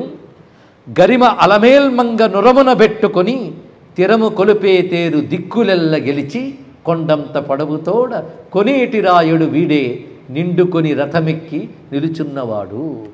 దుష్టశక్తిని ఎలా దునుమాడుతూ రథం తిరుగుతుందో ఒక్కసారి చూపించాడు. ఇది మన ధ్యాన దృష్టితో ఒక్కసారి తలంచుకొని రథంపై ఉన్న వెంకటేశ్వరుడు భూమిపై ఆకాశంపై భూగర్భంలో పాతాళాది లోకాల్లో ఉన్న దుష్టశక్తులంటి తరిమి కొట్టాలని ప్రార్థిద్దాం. లోపల బయట లోపల బయట చొచ్చుకుపోయి తిరుగుతున్న దుష్టశక్తుల్ని దునుమాడమని వెంకటపతిని ప్రార్థన చేద్దాం. ఈ ఒక్కసారి రథధ్యానం చేసుకుని అటువంటి దివ్యమైన రథోత్సవాన్ని కూడా చూపించారు. ఇలా వివిధములైన ఉత్సవాల తర్వాత చక్రాత్తాళ్వారిని మనం ఒక్కసారి స్మరణ చేసుకోవాలి కదా? సుదర్శన దేవుడండి. స్వామి ఆయుధాలను నమస్కరించినా రక్షిస్తాయి ఇవి. ఎందుకంటే ఆయుధాలు జడములు కావు. అవి దేవతలు. ఒక్కొక్క ఆయుధానికి ఒక్కొక్క మంత్రం ఉంది.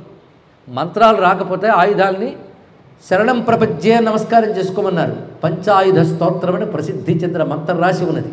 చక్రం సదాహం శరణం ప్రపంచే శంఖం సదాహం శరణం ప్రపంచే కదాం సదాహం శరణం ప్రపంచే ఖడ్గం సదాహం శరణం ప్రపంచే శార్ంగం సదాహం శరణం ప్రపంచే విష్ణుం సదాహం శరణం ప్రపంచే పంచాయుధములు ధరించిన విష్ణువుని శరణ పెడుతున్నాం ఒక్కొక్క ఆయుధ స్మరణ మనం రక్షిస్తుంది మన పూర్వపుణ్య విశేషం చేత ఇవాళ ఇక్కడ కూర్చొని మనం వెంకటేశ్వర రూపదర్శనం తిరుమల విశేషములు బ్రహ్మోత్సవాలు చూసి ఆయుధాలను ఒక్కొక్కటి ధ్యానం చేస్తున్నాం.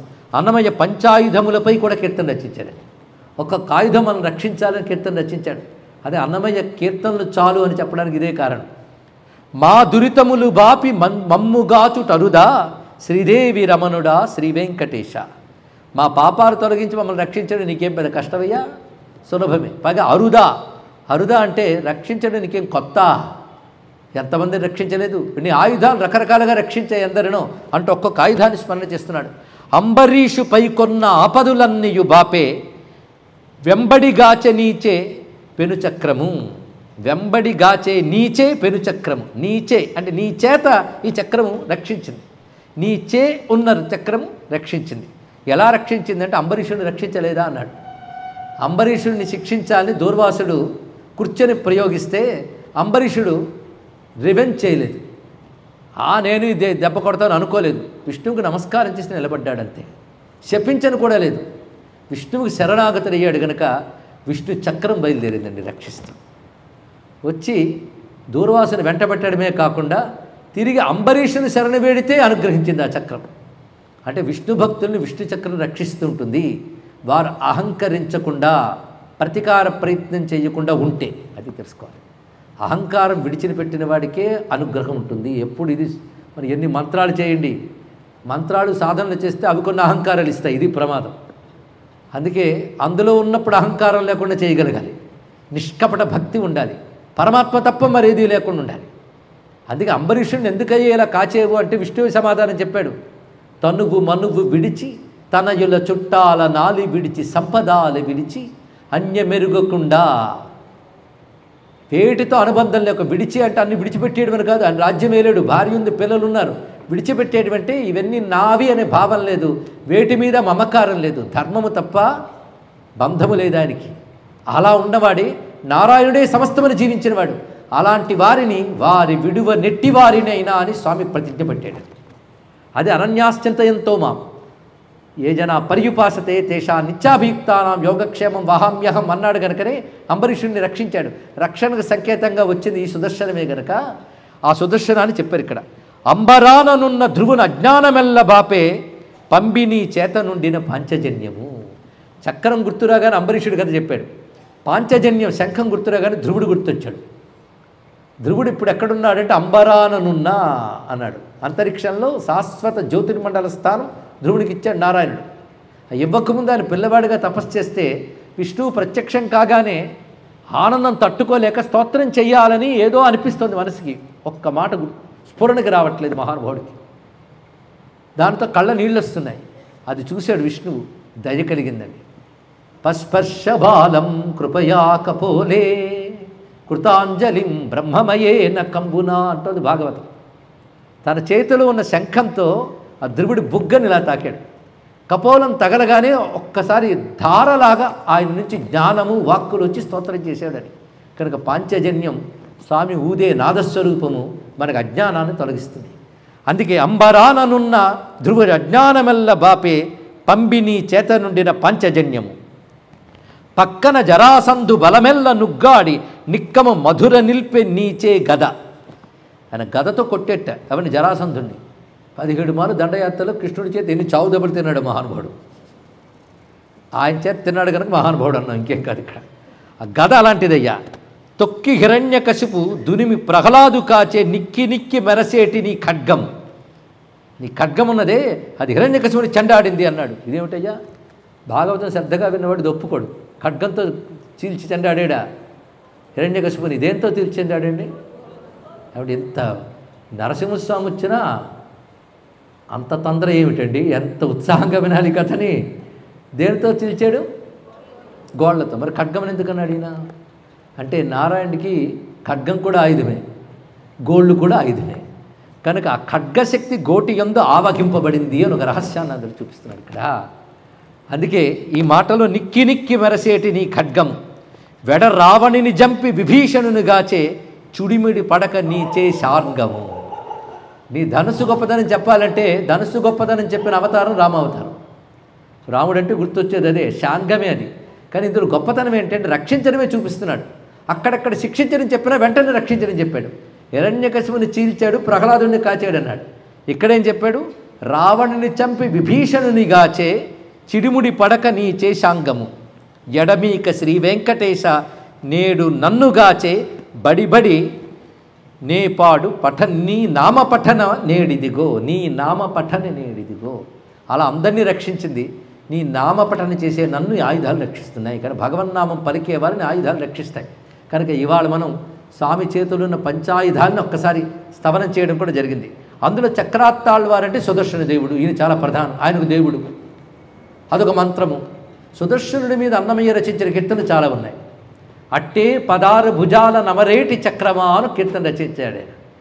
పదహారు చేతులతో ఉంటాడు సుబ్రహ్మణ్య మన సుదర్శనుడు. షట్కోణ చక్రం అది. షట్కోణం వృత్తాకారం దాల్చి ఉంటుంది. వృత్తం నుంచి జ్వాలలు వస్తుంటాయి. ఈ షట్కోణ మధ్యలో ఆయన ఉంటాడు. పదహారు చేతులతో ఉంటాడు ఇది సుదర్శన దేవుడు.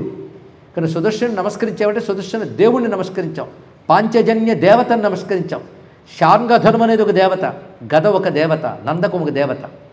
ఇప్పుడు సుదర్శన దేవుడి విషయం వస్తున్నది. ఈ సుదర్శన దేవుణ్ణి స్ఫురత్ సహస్రార శిఖాతి తీవ్రం సుదర్శనం భాస్కర కోటి తుల్యం సురద్విషాం ప్రాణవినాశ విష్ణో చక్రం సదాహం శరణం ప్రపజ్యే అంటాం. ఆ చక్రాత్తాళ్ వారిని బ్రహ్మోత్సవాల్లో చివరి రోజు అభిషేకం చేసి స్నానం చేసినప్పుడు మనం ఆ సుదర్శన దేవుని శరణ వేడదాం. ఎందుకంటే సుదర్శన దేవుడు ఆయన. ఈయన అనుగ్రహం ఉంటే విష్ణు దర్శనం వస్తుందండి. అదే సుదర్శనుడికి ప్రత్యేకమైన ఒక మంత్రం ఉంది. ఆ బీజాక్షర మంత్రాల సభల్లో చెప్పకూడదు కానీ శ్రీ సహస్రారాయ సుదర్శనాయ నమః నామంగా జపం చేసుకున్న చాలు. శ్రద్ధ కలిగిన వారి కోసం ఇచ్చాను ఈ మంత్రం. ఎవరైనా చేసుకోవచ్చు. సుదర్శన రక్ష చాలా అవసరం అండి ఇక్కడ. అంతేకాదు ఉపనిషత్తుల్లో ఒక మంత్రం ఉంది సుదర్శన మంత్రం. ఇది ప్రతివారు జపం చేసుకోవచ్చు. ఎంత దివ్యమైన మంత్రం కనబడుతుంది అంటే సుదర్శన మహాజ్వాల సూర్యకోటి సమప్రభా. సుదర్శన మహాజ్వాల. స్వామి మహాజ్వాలతో సుదర్శన సూర్యకోటులతో సమానమైన కాంతి కలిగిన వాడా? నిన్ను నేను ప్రార్థిస్తున్నాను. అందుకే నువ్వు విష్ణోర్ మార్గం ప్రదర్శయ విష్ణువు మార్గాన్ని చూపించు మాకు అంటున్నారు. కానీ సుదర్శనుడు ఎందుకు నమస్కరించాలంటే స్వామిని దర్శించే శక్తి సుదర్శనుడి వల్ల లభిస్తుందయ్యా అన్నారు. మరి ఇన్నాళ్ళు అన్నమయ్య దర్శించిన వెంకటేశ్వరుడు అంటే సుదర్శనుడిని మనం తలుచుకోకపోతే ఎలాగా? ఇవాళ మనందరికీ సుదర్శన అనుగ్రహం లభించేలాగా అన్నమాచార్య రచించిన మంత్ర సంహితమైన ఒకటో రెండో కీర్తన చూద్దాం. కోటి సూర్యులొక కూటువ గూడక చాటున మెరసేటి చక్రము.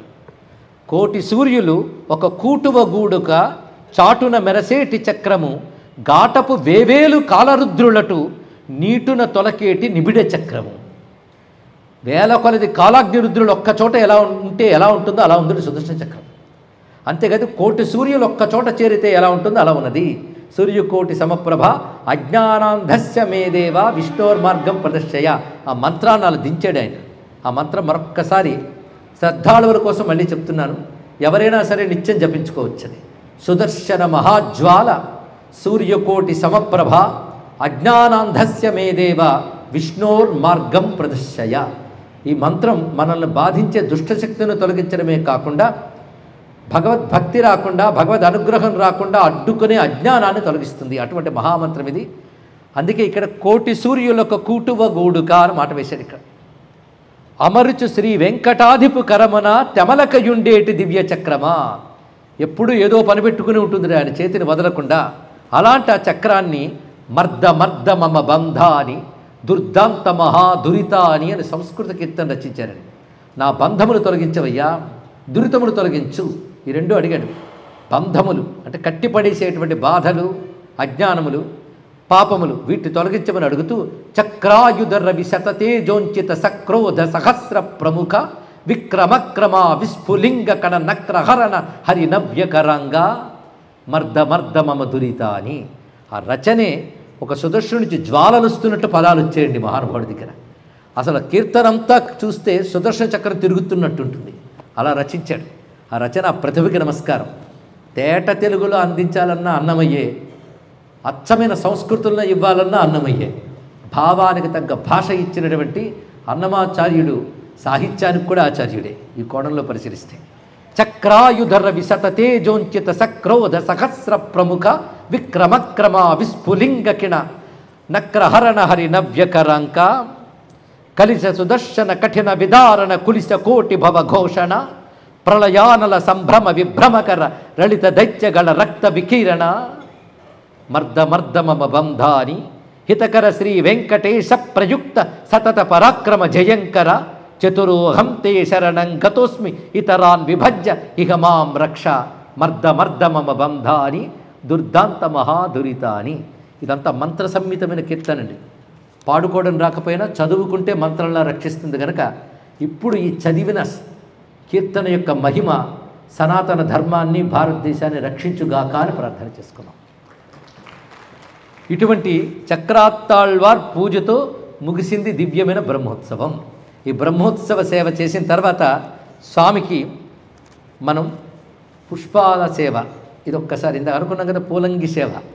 ఈ పూలంగి సేవ కార్తీక మాసంలో శ్రవణ నక్షత్రంలో కూడా చేస్తారండి దానిపై కీర్తన రచించాడు మహానుభావుడు. అన్నమయ్య కీర్తనలో అన్ని ఉత్సవాలు చేసుకోవచ్చు మీరు.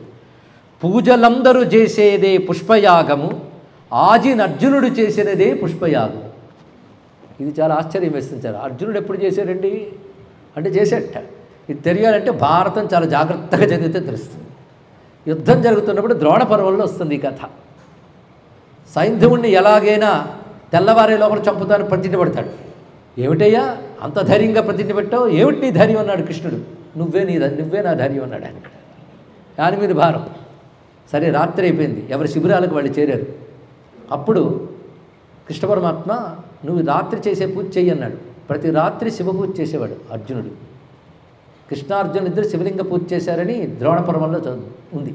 భారతం సరిగ్గా చదవని వాళ్ళు విష్ణు పురాణం సరిగ్గా చదవని వాళ్ళు భాగవతం సరిగ్గా చదవని వాళ్ళు శివకేశవ భేదాలు చెప్తూ ఉంటారు. వాళ్ళ ఆచార్య స్థానానికి కూడా అర్హులు కాదు తెలుసుకోండి ఇక్కడ. భారతంలో ఉంది. శివ పూజ చేస్తాడు. ధనుసు పెట్టి శివలింగం పెట్టి పూజ చేస్తూ కృష్ణుడు అక్కడ కూర్చుంటే కృష్ణుడి మీద కూడా పువ్వులు వేస్తాడండి. ఆశ్చర్యకరం. తర్వాత కృష్ణుడు అతని సూక్ష్మదేహాన్ని తీసుకుని ఆ రాత్రికి రాత్రి కైలాసానికి తీసుకువెళ్తాడు. తీసుకువెళితే తను కృష్ణుడి శరీరం మీద ఎక్కడెక్కడ పువ్వులు వేశాడో శివుడి శరీరం మీద ఆ స్థానాల్లో ఆ పువ్వులు కనబడతాయట ఇది రహస్యం. భారతంలో ఉంది ఇది. హరిహరుల మధ్య భేదం లేదని. కనుక ఎప్పుడు చేశాడు అర్జునుడు తెలిసిపోయింది కదా. అని ఆజిన్ అర్జునుడు చేసే అన్నాడు. ఆజి అంటే యుద్ధంలో అర్జునుడు చేశాడు పుష్పయాగము. ఆ రహస్యాన్ని హనుమాచార్య చెప్పాడు. కానీ హనుమాచారి కీర్తన జాగ్రత్తగా వింటే పురాణ కథలు ఉంటాయి. పురాణ కథలు జాగ్రత్తగా చదివితే కానీ అన్నమయ్య కీర్తనలు అర్థం కావు. అది మోహన్ రాగమా కళ్యాణ్ రాగమా ఇది ఎవరికైనా అర్థం వచ్చింది కానీ అందులో ఉన్న జ్ఞాన యోగం అర్థం కావాలండి రాగం కంటే. అది చూపిస్తున్నాడు ఇక్కడ. అందుకే ఆజినర్జునుడు చేసినది పుష్పయాగము. ఎవరెవరు పుష్పయాగం చేశారో ఈ కీర్తనలో చెప్తున్నాడు. మొదల శ్రీసతి చేతి మోహన కమలమే పొదల నీకు ఎప్పుడునూ పుష్పయాగము. అమ్మవారి చేతిలో కమలం పట్టుకుంటారు కదా? ఆ కమలాలతో ఆయన పూజిస్తుంది. అది పుష్పయాగమే. గుదిగొన మిమ్మిద్దరి కూడించే మరువిరులు పొదిగి పూజించిన పుష్పయాగం. ఒకరిపై ఒకరికి ప్రేమ కలిగింది అంటే మన్మధుడు పుష్పబాణాలు పనిచేసాయి ఆ పుష్పబాణాలే పుష్పయాగమయ్యా నీకు. పొదిగి పూజించిన పుష్పయాగము మాలాకారుడిచ్చిన మధురలో పూదండ పొలింప నీకునిది పుష్పయాగం. కృష్ణుడు మధురానగరంలో ప్రవేశించినప్పుడు అక్కడ ఒక మాలాకారుడు స్వామి కోసం అల్లిన మాలలు పుష్పములు సిద్ధం చేస్తావని స్వామి తీసుకున్నాడు. అది కూడా నీకు పుష్పయాగమే. అవన్నీ గుర్తు తెచ్చుకోవాలి పుష్పయాగంలో. కేలితో నారదుడు సగిన పారిజాతము భూలోకమును నీకు పుష్పయాగము. తొరలి అలమేల్మంగ తురుమున విరులే నీకు పొరసి నీ ఉరముపై పుష్పయాగం. ఆ తల్లిని వక్షస్థలానికి హత్తుకున్నప్పుడు ఆమె తలపై పెట్టుకున్న పువ్వులు రాలి నీ వక్షస్థలంపై పడ్డాయి. అది కూడా నీకు పుష్పయాగమే. సిరులతో మునులెల్ల శ్రీ వెంకటాద్రీశ పొరిపరి చేసేరు పుష్పయాగము. ఆ మునులు దేవతలు కలిసి కల్పవృక్ష కుసుమాలతో పూలయాగం చేశారు. ఆ పుష్పయాగమే మేము ఇప్పుడు చేస్తున్నామంటూ స్వామివారి యొక్క పుష్పయాగం కూడా చూపించారండి. ఇన్ని యాగాలు చూసిన తర్వాత కళ్యాణ శోభ చూడడానికి మనం వెళుతున్నాం. కళ్యాణోత్సవం. అయితే కళ్యాణోత్సవం అంటూ ఉంటేనే ఎప్పుడా అని ఎదురు చూస్తూ ఉంటాం. మనం నిన్నటి నుంచి అలా ఎదురు చూస్తున్న వాళ్ళు ఉన్నారు. అప్పుడే కళ్యాణం లడ్లు కూడా తయారు చేశారు. పేరు చెప్పగానే లడ్లు వచ్చాయంటే కళ్యాణోత్సవానికి ఉన్న ఆకర్షణది అయితే నేను మాత్రం అంత తొందరగా కళ్యాణోత్సవానికి చేర చే- తీసుకెళ్ళకుండా ఒక్క అందమైనటువంటి అసలైన విష్ణు దర్శనం చేయించే ప్రయత్నం చేస్తున్నాం. స్వామివారికి అవి కైంకర్యాలు.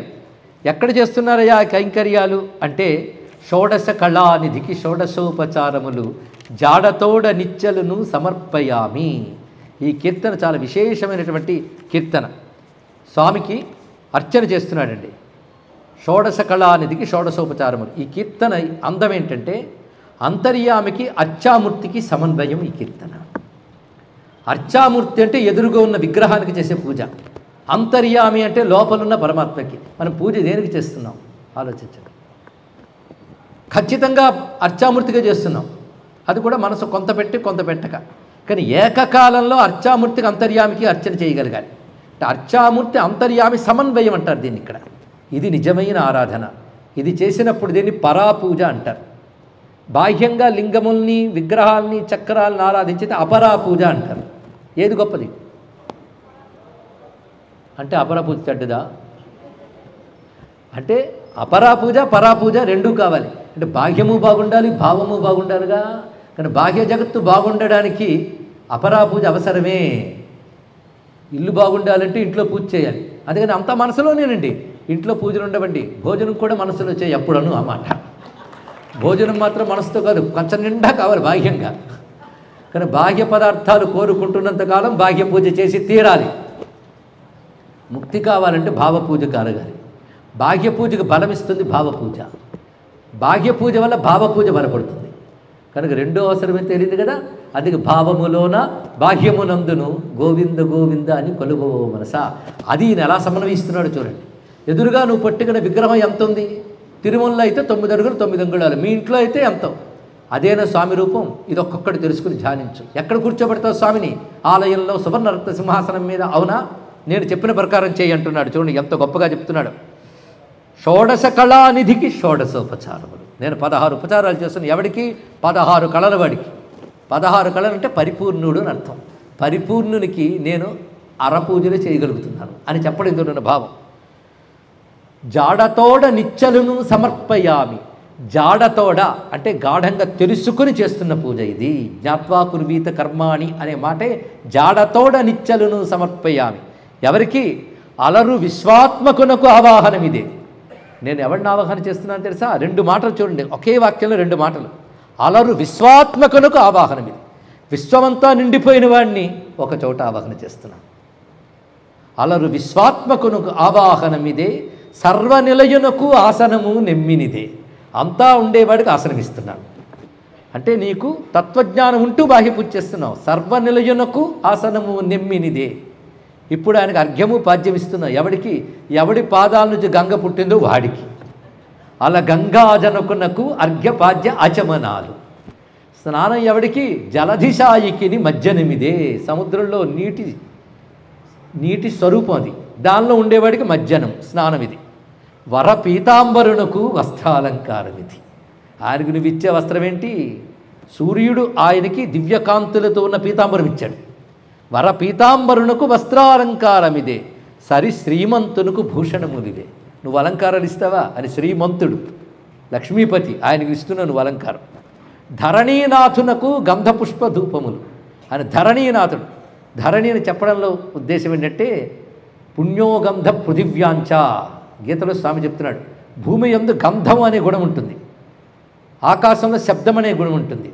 అగ్నిలో రూపం అనే గుణం ఉంటుంది. వాయువులో స్పర్శ ఉంటుంది. జలములో రసం ఉంటుంది. భూమి ఎందు గంధం ఉంటుంది. అలాంటి ధరణీధరుడు ఆయన భూమిని ఎత్తినవాడు. ఆయనకి గంధ పుష్ప ధూపములు ఇస్తున్నాను పైగా తెర మీదే కోటి సూర్యతేజునుకు దీపము. నేను దీపాలు ఎవడికి పెడుతున్నాను? చీకట్లో ఉన్నవాడిగా ఎవడి నుంచి కోటి సూర్యులు తేజస్సు వస్తుందో వాడికి దీపం. ఇక నైవేద్యం ఎవడికి పెడుతున్నానంటే ఎవడు అమృతం తెచ్చి దేవతలకు పంచాడు వాడికి నైవేద్యం. అమృత మథనకు అదివో నైవేద్యము. గమి చంద్రనేత్రునకు కప్పుర విడము అన్నమయ్య పాటకి ఎన్నో శాస్త్రజ్ఞానం ఉండాలని చెప్తున్నాం. కర్పూరపు తాంబూలం ఇస్తున్నాను. ఎవరికి? చంద్రనేత్రుడికి చంద్రుడు కర్పూరము ఒకదానికొకటి అనుబంధం ఉన్నవి ఆ చంద్ర కళికలకు సంకేతంగానే కర్పూరం. ఇది తెలియాలంటే సౌందర్యనగర్లో చంద్రుడిని అమ్మవారి తాంబూలపు పాత్ర కింద వర్ణించాడు శంకర భగవత్పాల్ వారు. ఆ రహస్యం తెలిస్తే ఈ రహస్యం తెలుస్తుంది. ఎక్కువ వ్యాఖ్యానిస్తే సమయం లేదు. మొత్తాన్ని గమిచంద్రనేత్రునకు కప్పుర విడము అమరిన శ్రీ వెంకటాద్రి మీది దేవునకు తమితో ప్రదక్షిణాలు దండములు నివిగో అంటూ అచ్చామూర్తి అంతర్యామి సమన్వయం చూపిస్తున్నాడు. అందుకే పూజలు నిత్య పూజలు ఎవరికి చేస్తావా అంటే నిత్య పూజలివిగో నేరిచిన ఓహో ప్రత్యక్షమైనట్టి పరమాత్మునికి. నేను చేస్తున్న పూజ పరోక్ష దేవుడికి కాదు ప్రత్యక్ష దేవుడు. అంటే నిత్యం అనుభవంలోకి వచ్చేవాడిని ప్రత్యక్షమనాలి కంటికి కనబడేవాడు అని మాత్రమే కాదు నిత్య అనుభవంలోకి రావడమే ప్రత్యక్షం. ఎటువంటిది ఆ పూజ అంటే ఈ పూజ చేయగలగాలండి ఎలాంటి పూజ అంటే తనువే గుడియట తలయే శిఖరమట పెను హృదయమే హరిపీఠమట కనుగొను చూపులే ఘన దీపములట తన లోపలనున్న అంతర్యామికిని. ఇక్కడ చూడగానే శరీరమే గుడి అయిపోయింది తల గోపురమయ్యింది హృదయం పీఠమయ్యింది. అక్కడున్న స్వామిని చూసే చూపులు దీపాలయ్యి అన్నాడు. అంటే లోపల వాడిని చూడ్డానికి అంతర్ముఖ దృష్టి ఏదైతుందో అది నిజమైన దీపం. అందుకే కనుగొను చూపులే ఘనదీపములట తన లోపలి అంతర్యామికిని. అంతేకాదు పలుకే మంత్రమట బాగైన నాలుకే కలకలమను పిడిగంటయ్యట. ఏమి కవిత్వం అండి? నేను ఆడే మాటే మంత్రం అన్నాడు. ఎవరికి? మనందరూ మాట్లాడతాం. మంత్రాలేనా? ఎవడు తన లోపల అంతర్ముఖుడై పరమాత్మను చూస్తాడో వాడికి జపో జల్ప శిల్పం సకలమపి ముద్ర విరచన గతి ప్రాదక్షిణ్య క్రమణమసనాద్యాహుతి విధి ప్రణామ సంవేశ సుఖమఖిలమాత్మాప్రణదృశ సపర్యా పర్యాయస్తవ భవతు జన్మే విలసితం అంటారు ఆదిశంకరుడు సౌందర్యంలో ఇదే భావాన్ని.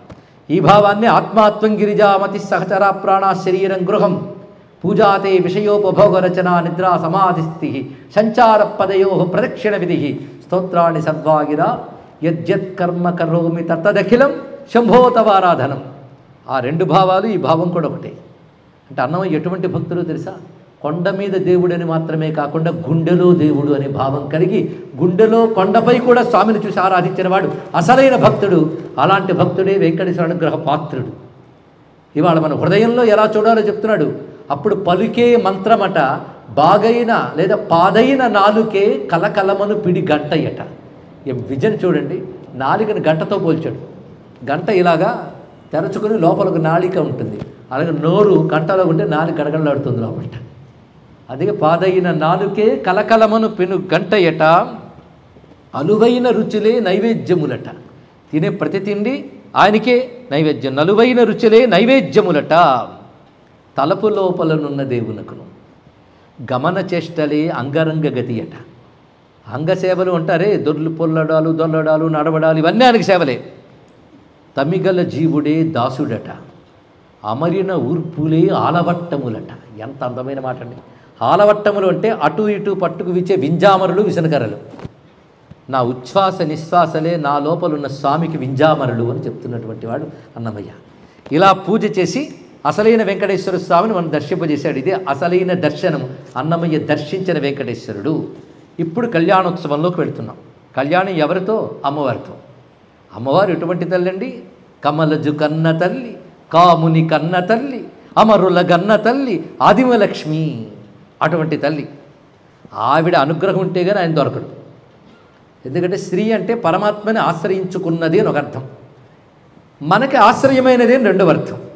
మనందరికీ ఆవిడ ఆశ్రయం ఆయన ఆవిడికి ఆయన ఆశ్రయం. కనుక అమ్మని పట్టుకున్నామంటే అమ్మ ఆయన్ని పట్టుకుంది. కనుకనే మన ఆవిడని పట్టుకుంటే ఆయన్ని చూపిస్తుంది ఆవిడ. అంతేకాదు మన గురించి ఆయనకు చెప్తుంది శృణోతి శ్రావయతి ఇది శ్రీ అని వైష్ణవ సిద్ధాంతం చెప్తానమాట విని వినిపించే తల్లి అని అర్థం. మన మొరలు విని ఆయనకు చెప్తుందిట. వీడు యోగ్యుడు వీడిని అనుగ్రహించు. అప్పుడు అమ్మవారు అనుగ్రహిస్తున్నారు. ఆ మాటను చెప్తూ పరమాత్ముడైన హరి పట్టపురాని వినీవు ధర్మము విచారింప తగు నీకునమ్మా అని అంటారు. అటువంటి మహాలక్ష్మి జయలక్ష్మి వరలక్ష్మి శృంగార వీరలక్ష్మి ప్రియురాలవై హరికి బరగితివమ్మా. ఇందులో ఎన్ని లక్ష్ములు వస్తున్నాయో చూడండి. వరలక్ష్మి వచ్చింది జయలక్ష్మి వచ్చింది సంగ్రామ వీరలక్ష్మి వచ్చిందండి. అటువంటి తల్లి పాల జలనిధిలోని పసనైన మీగడ మేలిమి తామరలోని మించువాసన నీలవర్ణు నురముపై నిండిన నిధానమవై ఏలేవు లోకములు మమ్మేలు మమ్మ ఆ వర్ణన చెప్పేటప్పుడు పాల సముద్రం మీద మేగడలాగా వచ్చింది రవిట ఎప్పుడైనా పాల మీద మేగడ చూడండి మంచి ఆవు పాల మీద మేగడ బంగారు రంగులో ఉంటుంది పైకి వచ్చేటప్పటికి. కానీ పాల సముద్రం మీద అమ్మవారు ఎలా వచ్చింది మేగడలా వచ్చిందిట. స్వర్ణకాంతులతో ఆ భావనే చాలండి ఎంత గొప్పదో అన్నమయ్య భావన బలం. మేలిమి తామరలోని మించు వాసన ఆవిడ పద్మాసనంలో కూర్చుంది కదా పద్మములో ఆవిడ ఎలా ఉందంటే పద్మంలో వాసనలో ఉందిట. అంత వ్యాపించిపోయినది ఇక్కడ. అలాంటి తల్లి నీలవర్ణ రుణముపై నిండిన నిధానమవై నీలవర్ణుడు అంటే నారాయణ స్వామి ఆయన యొక్క వక్షస్థలం మీద నిధిలా కూర్చున్నావమ్మా నువ్వు అని ఆ తల్లిని కీర్తిస్తున్నారు. అదే ఒకపరి కొక్కపరి ఒయ్యారమై ముఖమున కళలెల్ల మొలిచినట్లుండే అనేది ఈ తల్లి గురించేగా? జగదేక పతిమేన చల్లిన కర్పూర ధూళి జిగుకొని నలువంక చిందగాను ఒగి చంద్రముఖి ఉరమను నుండేగానా అన్నాడు ఇక్కడ. స్వామికి పచ్చకర్పూరం పూసినప్పుడు ఒళ్ళంతా తెల్లని కాంతులు ఉన్నాయి ఇన్ని తెల్ల కాంతులు ఎలా వచ్చాయంటే పచ్చకర్పూరం వల్ల కాదుట. అక్కడ కూర్చుంది కదా తల్లి చంద్రముఖి. ఆ చంద్రముఖి నుంచి వచ్చిన అమ్మవారి నుంచి వచ్చిన వెన్నెలలు స్వామి శరీరం మీద పడి అది తెల్లగా కనబడుతున్నాయి అన్నాడు ఇక్కడ. ఏమి భావనాబలం అండి ఇక్కడ. అటువంటి మహాలక్ష్మి జయలక్ష్మి వరలక్ష్మి. అటువంటి ఆ తల్లినే క్రమంగా వివాహ వేదిక మీదకి తీసుకువెళుతూ ఉన్నప్పుడు పల్లకిలో పెట్టి తీసుకెళ్తున్నారు. పెళ్ళి కూతురిగా అలంకారం చేసి పల్లకిలో కళ్యాణ మండపం వైపు స్త్రీ మర్యాద స్త్రీదే. పైగా ఆవిడ మహారాణి లోకాలనేరే రాణి. కనుక ఆవిడ పల్లకి మోసే బోయేలు కూడా కాంతలే. స్త్రీలే మోస్తున్నారు. అలా మోసి తీసుకెడుతుంటే అన్నమయ్య భక్తుడు జాగ్రత్తగా పల్లకి మోయండి. లోపల సుకుమారి బడలిపోతుంది. కులుకక నడవరో కొమ్మలాల జలజల రాలీని జాజులు మా అమ్మకు. వీరు కులుకుతూ నడిచారు అనుకోండి అమ్మ కదిలిపోతుంది అలంకరించుకున్న జాజులు రాలిపోతాయి. జాగ్రత్తగా నడవండి. ఒయ్యనే మేను కదలే ఒప్పుగా నడవరో గయ్యాళి శ్రీపాద తాకు కాంతలారా. శ్రీపాద తాకు కాంతలారా స్వేచ్ఛా ప్రయోగం అన్నమయ్య ఈ పదాలన్నీ కూడా. ఆ పాదాల్ని తాకే ఓ కాంతలారా గయ్యాళ్ళారా నెమ్మదిగా నడవండి. ఎందుకంటే మీరు అలాగా గయ్యాడితనంతో నడుస్తుంటే ఉయ్యనే మేను కదలే. అమ్మకు శరీరం కదిలిపోతు చూడండి ఇక్కడ. పయ్యద చెరగుజారి భారపు గుబ్బల మీద అయ్యో చెమరించే మా అమ్మకు నిన్నుదురు మా అమ్మ నుదురు చెమరిస్తోంది చూడండి ఇక్కడ. చెమట పడుతుంది. నెమ్మదిగా జాగ్రత్తగా తీసుకెళ్ళండి. ఎంత సుకుమారమైన భావాన్ని ఎలా అందిస్తున్నాడో చూడండి ఇక్కడ. పైగా గయ్యాళి అనే మాటకు లోకంలో క్రూరురాలు దుర్మార్గుల భావనలో వాడతాం. కానీ గయ్యాలి అంటే ఏ పన్నైనా చాకచక్యంతో నిర్వహించున్నదని మరొక అర్థం ఉన్నది రెండు విధాలుగా సరిపోయింది. లోక వ్యవహారం ఒకటి శాస్త్ర వ్యవహారం ఒకటి. ఇక్కడ నుంచి ఆ ఆ ఉద్దేశంతో గయ్యాళి అని పిలిచారా? మీ ఇష్టం. మొత్తానికి ఆ తల్లి అలా వస్తూ ఉంటే చల్లడి గంధవడి మైజారే నిలువరో పల్లకి పట్టిన పణతులారా పల్లకి పట్టిన ముద్దు పణతులారా మొల్లనైన కుందనపు ముత్యాల కుచ్చులదరి జల్లనుచు కంకణాలు కదిలే మా అమ్మకు నెమ్మదిగా వెళ్ళండి. అదిగో పాపిట రాసుకున్న గంధాదులు జారుతున్నాయి. సుకుమారంగా తీసుకెళ్ళండి పల్లకిని. అని మండపం దాకా తీసుకొచ్చాడండి. మండపం దగ్గరికి రాగానే అక్కడున్న పరిచారకులు చెప్తున్నాడు జమలి ముత్యాలతోడి చెమ్మాళిగలెడరో రమణులు మంగళ హారతులెత్తరో ఇదిగో అమ్మవారు వచ్చేసారు పల్లకితో కళ్యాణ మండపం దగ్గరికి. మీరు పాదుకలు తెచ్చిపెట్టండి. పాదుకలు ఎలాంటివంటే బంగారు పాదుకలు వాటి చివరల్లో అంచుల్లో ముత్యాలు వేలాడుతున్నాయి. జమలి అంటే వ్రేలాడుతున్న ముత్యాలతోడి చమ్మాళిగలు. చమ్మాళిగలు అంటే పాదరక్షలు పాదుకలు. జమలి ముత్యాలతోడి చమ్మాళిగలెడరో రమణులు రమణికి హారతులెత్తరో అని పల్లకి తీసుకొచ్చారు కదా ఇప్పుడు పెళ్ళి మండపంలోకి వచ్చింది తల్లి. ఒకరికొకరు తగిన వారు వీరు. ఇలాంటి పాటలు ఎన్ని రాశాడు? ఆయనకి వీడికి ఉన్న తగినతనం. మేడ్ ఫర్ ఈచ్ అదర్ అన్న భావాన్ని. ఇక్కడ సౌభాగ్యలక్ష్మి స జయలక్ష్మి వీరలక్ష్మి సంగ్రామలక్ష్మి వరలక్ష్మి ఆదిలక్ష్మి కళ్యాణలక్ష్మి ఈ లక్ష్మి అని చెప్పారు. తగునయ్య హరినీకు దానము తెచ్చుకొనిన జగములో భూకాంత సౌభాగ్యలక్ష్మి. ఈ కీర్తనలో నువ్వు దానం పుచ్చుకోవడానికి తగింది ఈవిడే. ఎందుకంటే ఒకప్పుడు నువ్వు దానం పుచ్చుకున్నావు. వామనావతారంలో భూదానం పుచ్చుకున్నావుగా? అందుకే ఈవిడ సౌభాగ్యలక్ష్మి. భూకాంత సౌభాగ్యలక్ష్మి. కిమ్ముల శిశుపాలుని గెలిచి చోకొంటివిగా సమ్మతించి రుక్మిణి జయలక్ష్మి. శిశుపాలుని జయించి పుచ్చుకున్నావు కదా అప్పుడు ఇప్పుడు జయలక్ష్మి. అప్పుడు ఆవిడ పేరేమిటి? రుక్మిణి. అమ్ముమనుకు జలధి నడిచి లంక సాధించి క్రమ్మరి చేకున్న సీతయే ఘన వీరలక్ష్మి. వీరత్వంతో సాధించుకున్న ఆ సీతమ్మయే ఈవిడ. నరకాసురు నడచి నవ్వుతా చెయ్యి వేసితివి సరిగా సత్యభామపో సంగ్రామలక్ష్మి. హిరణ్యకశిపుగొట్టి ఇంద్రాదులకు నీవే వరమిప్పించిన ఈకే వరలక్ష్మి. నిండిన ఉరవ మీద నిఖిల సంపదలతో అండనుండే ఆకెపో ఆదిలక్ష్మి. మెండగు శ్రీ వెంకటాద్రి మీద నీ సరస నిదే గండు మీరే కళలతో కళ్యాణ లక్ష్మి ఇందులో ఎన్ని లక్ష్ములు చెప్పాడో చూడండి. సౌభాగ్యలక్ష్మి జయలక్ష్మి వీరలక్ష్మి సంగ్రామలక్ష్మి వరలక్ష్మి ఆదిలక్ష్మి కళ్యాణలక్ష్మి. ప్రతిదానికి ఒక కథతో అనుబంధం చూపించాడు. ఇన్ని లక్ష్ముల కూడికైన మహాలక్ష్మి మా అలర్మేలు మంగ పెళ్ళి కూతురుగా కూర్చునున్నదయ్యా. ఎంత అందంగా ఉన్నదంటే అదిగో అందరూ రండి పెళ్ళికి దశల పేరెంటాండ్లు దశల్లో ఉన్న దేవకాంతులు మునికాంతులు దిక్పాలకులు అందరూ పెళ్ళికి రండి. ఇదిగో అక్షతలు వేయండి సరిగ్గా. అని అక్షతలు పంచుతున్నాడు ఈయన పెళ్ళి పెద్దగా. పసిడి యక్షంతులివే. పట్టరో వేగమెరారో దశల పేరెంటాండ్లు దేవుని పెండ్లికిని శ్రీ వెంకటేశ్వరునికి శ్రీ మహాలక్ష్మికి దైవికపు పెండ్లి ముహూర్తము నేడు. కావించి భేరులు మ్రోసే గరుడధ్వజం వెక్కే దేవతలు రారో దేవుని పెండ్లికిని. నిజంగా కళ్యాణ ఘట్టమంతా మనసుకు పట్టిస్తున్నాడండి. ఇక్కడ ఒక రహస్యం ఏంటంటే వెంకటేశ్వర స్వామికి ఉండండి అమ్మ, తొందరొద్దు. సబ్జెక్టు మీద దృష్టి ఉండాలి. విష్ణు విష్ణు విష్ణు ఇదం విష్ణు విచక్రమే త్రేధానధదే పదం. కళ్యాణ ఘట్టం జరుగుతుంది. ఈ సమయంలో కళ్యాణం అనేది వెంకటేశ్వరుడికి ఏర్పాటు చేసినది అన్నమాచార్యుడు వారే. అన్నమాచార్యుల నుంచి నిత్య కళ్యాణం అనేది వచ్చినది. ఇది తెలుసుకోవాల్సిన గొప్ప విషయం. ఎన్ని సేవలు చేశారు ఈ మహానుభావులు? అందుకే అన్నమాచార్యుని మామ అని పిలిచేట ఒకసారి వెంకటేశ్వర స్వామి. మనకు ఆశ్చర్యం వేస్తుంది. ఈ మాట అన్నమాచారి మేనల్లుడు రేవణూరి వెంకటార్యుడు అనే ఆయన శకుంతలా పరిణయం అనే ప్రబంధంలో చెప్పాడు. ఎంత స్పష్టంగా రాశారంటే ఆ మహాదేవుడు మదీయ మాతామహ వంశ శిఖార్థంబగు అన్నమాచార్యునకు జామాతురుండు అనిపించుకొని జామాత అంటే తెలుసు కదండి? అల్లుడు. మదీయ మాతామహ వంశ శిఖారత్తంబగు అంటే మా అమ్మ వైపు తాతగారు. అలా లెక్క కడితే అన్నమాచార్యుడైన. అన్నమాచార్యుడికి జామాతురుండి అనిపించుకుని ఒక మాట అన్నట్ట. భవదీయ సంకీర్తనంబులు ఆలించిన కర్ణంబులు ఇతర సంకీర్తనంబులు ఆలించనని ప్రతిజ్ఞ గావించే. అది చేసేట వెంకటేశ్వరుడు. మామ నీ సంకీర్తనలు విన్న చెవులతో మరొక సంకీర్తన వినను అన్నట్టు. అంత ప్రేమ ఆయనకి అన్నమాచార్యులపై అందుకు మామ అని ఎందుకన్నాడయ్యా అంటే పెళ్ళి ఏర్పాటు చేసింది ఆయన. అన్నమాచారి ఏర్పాటు చేసింది కళ్యాణోత్సవం. అందుకే కళ్యాణ పాటలు చాలా రాశాడు. పెళ్ళి కూతురు మీద ఎన్ని చెప్పాడో మహానుభావుడు. మొత్తానికి పెళ్ళికి పెళ్ళి కూతురు సిద్ధమైంది. ఆ పెళ్ళి కూతురికి వచ్చి ఈ పెళ్ళి కొడుక్కి అందరూ కూడా అక్షతలు వేయండి. అందుకే ఇప్పుడు ముహూర్తం కుదిరింది. దైవికపు పెండ్లి ముహూర్తము నేడు. కావించి భేరులు మోసే గరుడధ్వజం వెక్కే దేవతలు రారో దేవుని పెండ్లికిని. ఎవరికి పెళ్ళి కందర్ప జనకునికి. కమలాదేవికి పెండ్లి.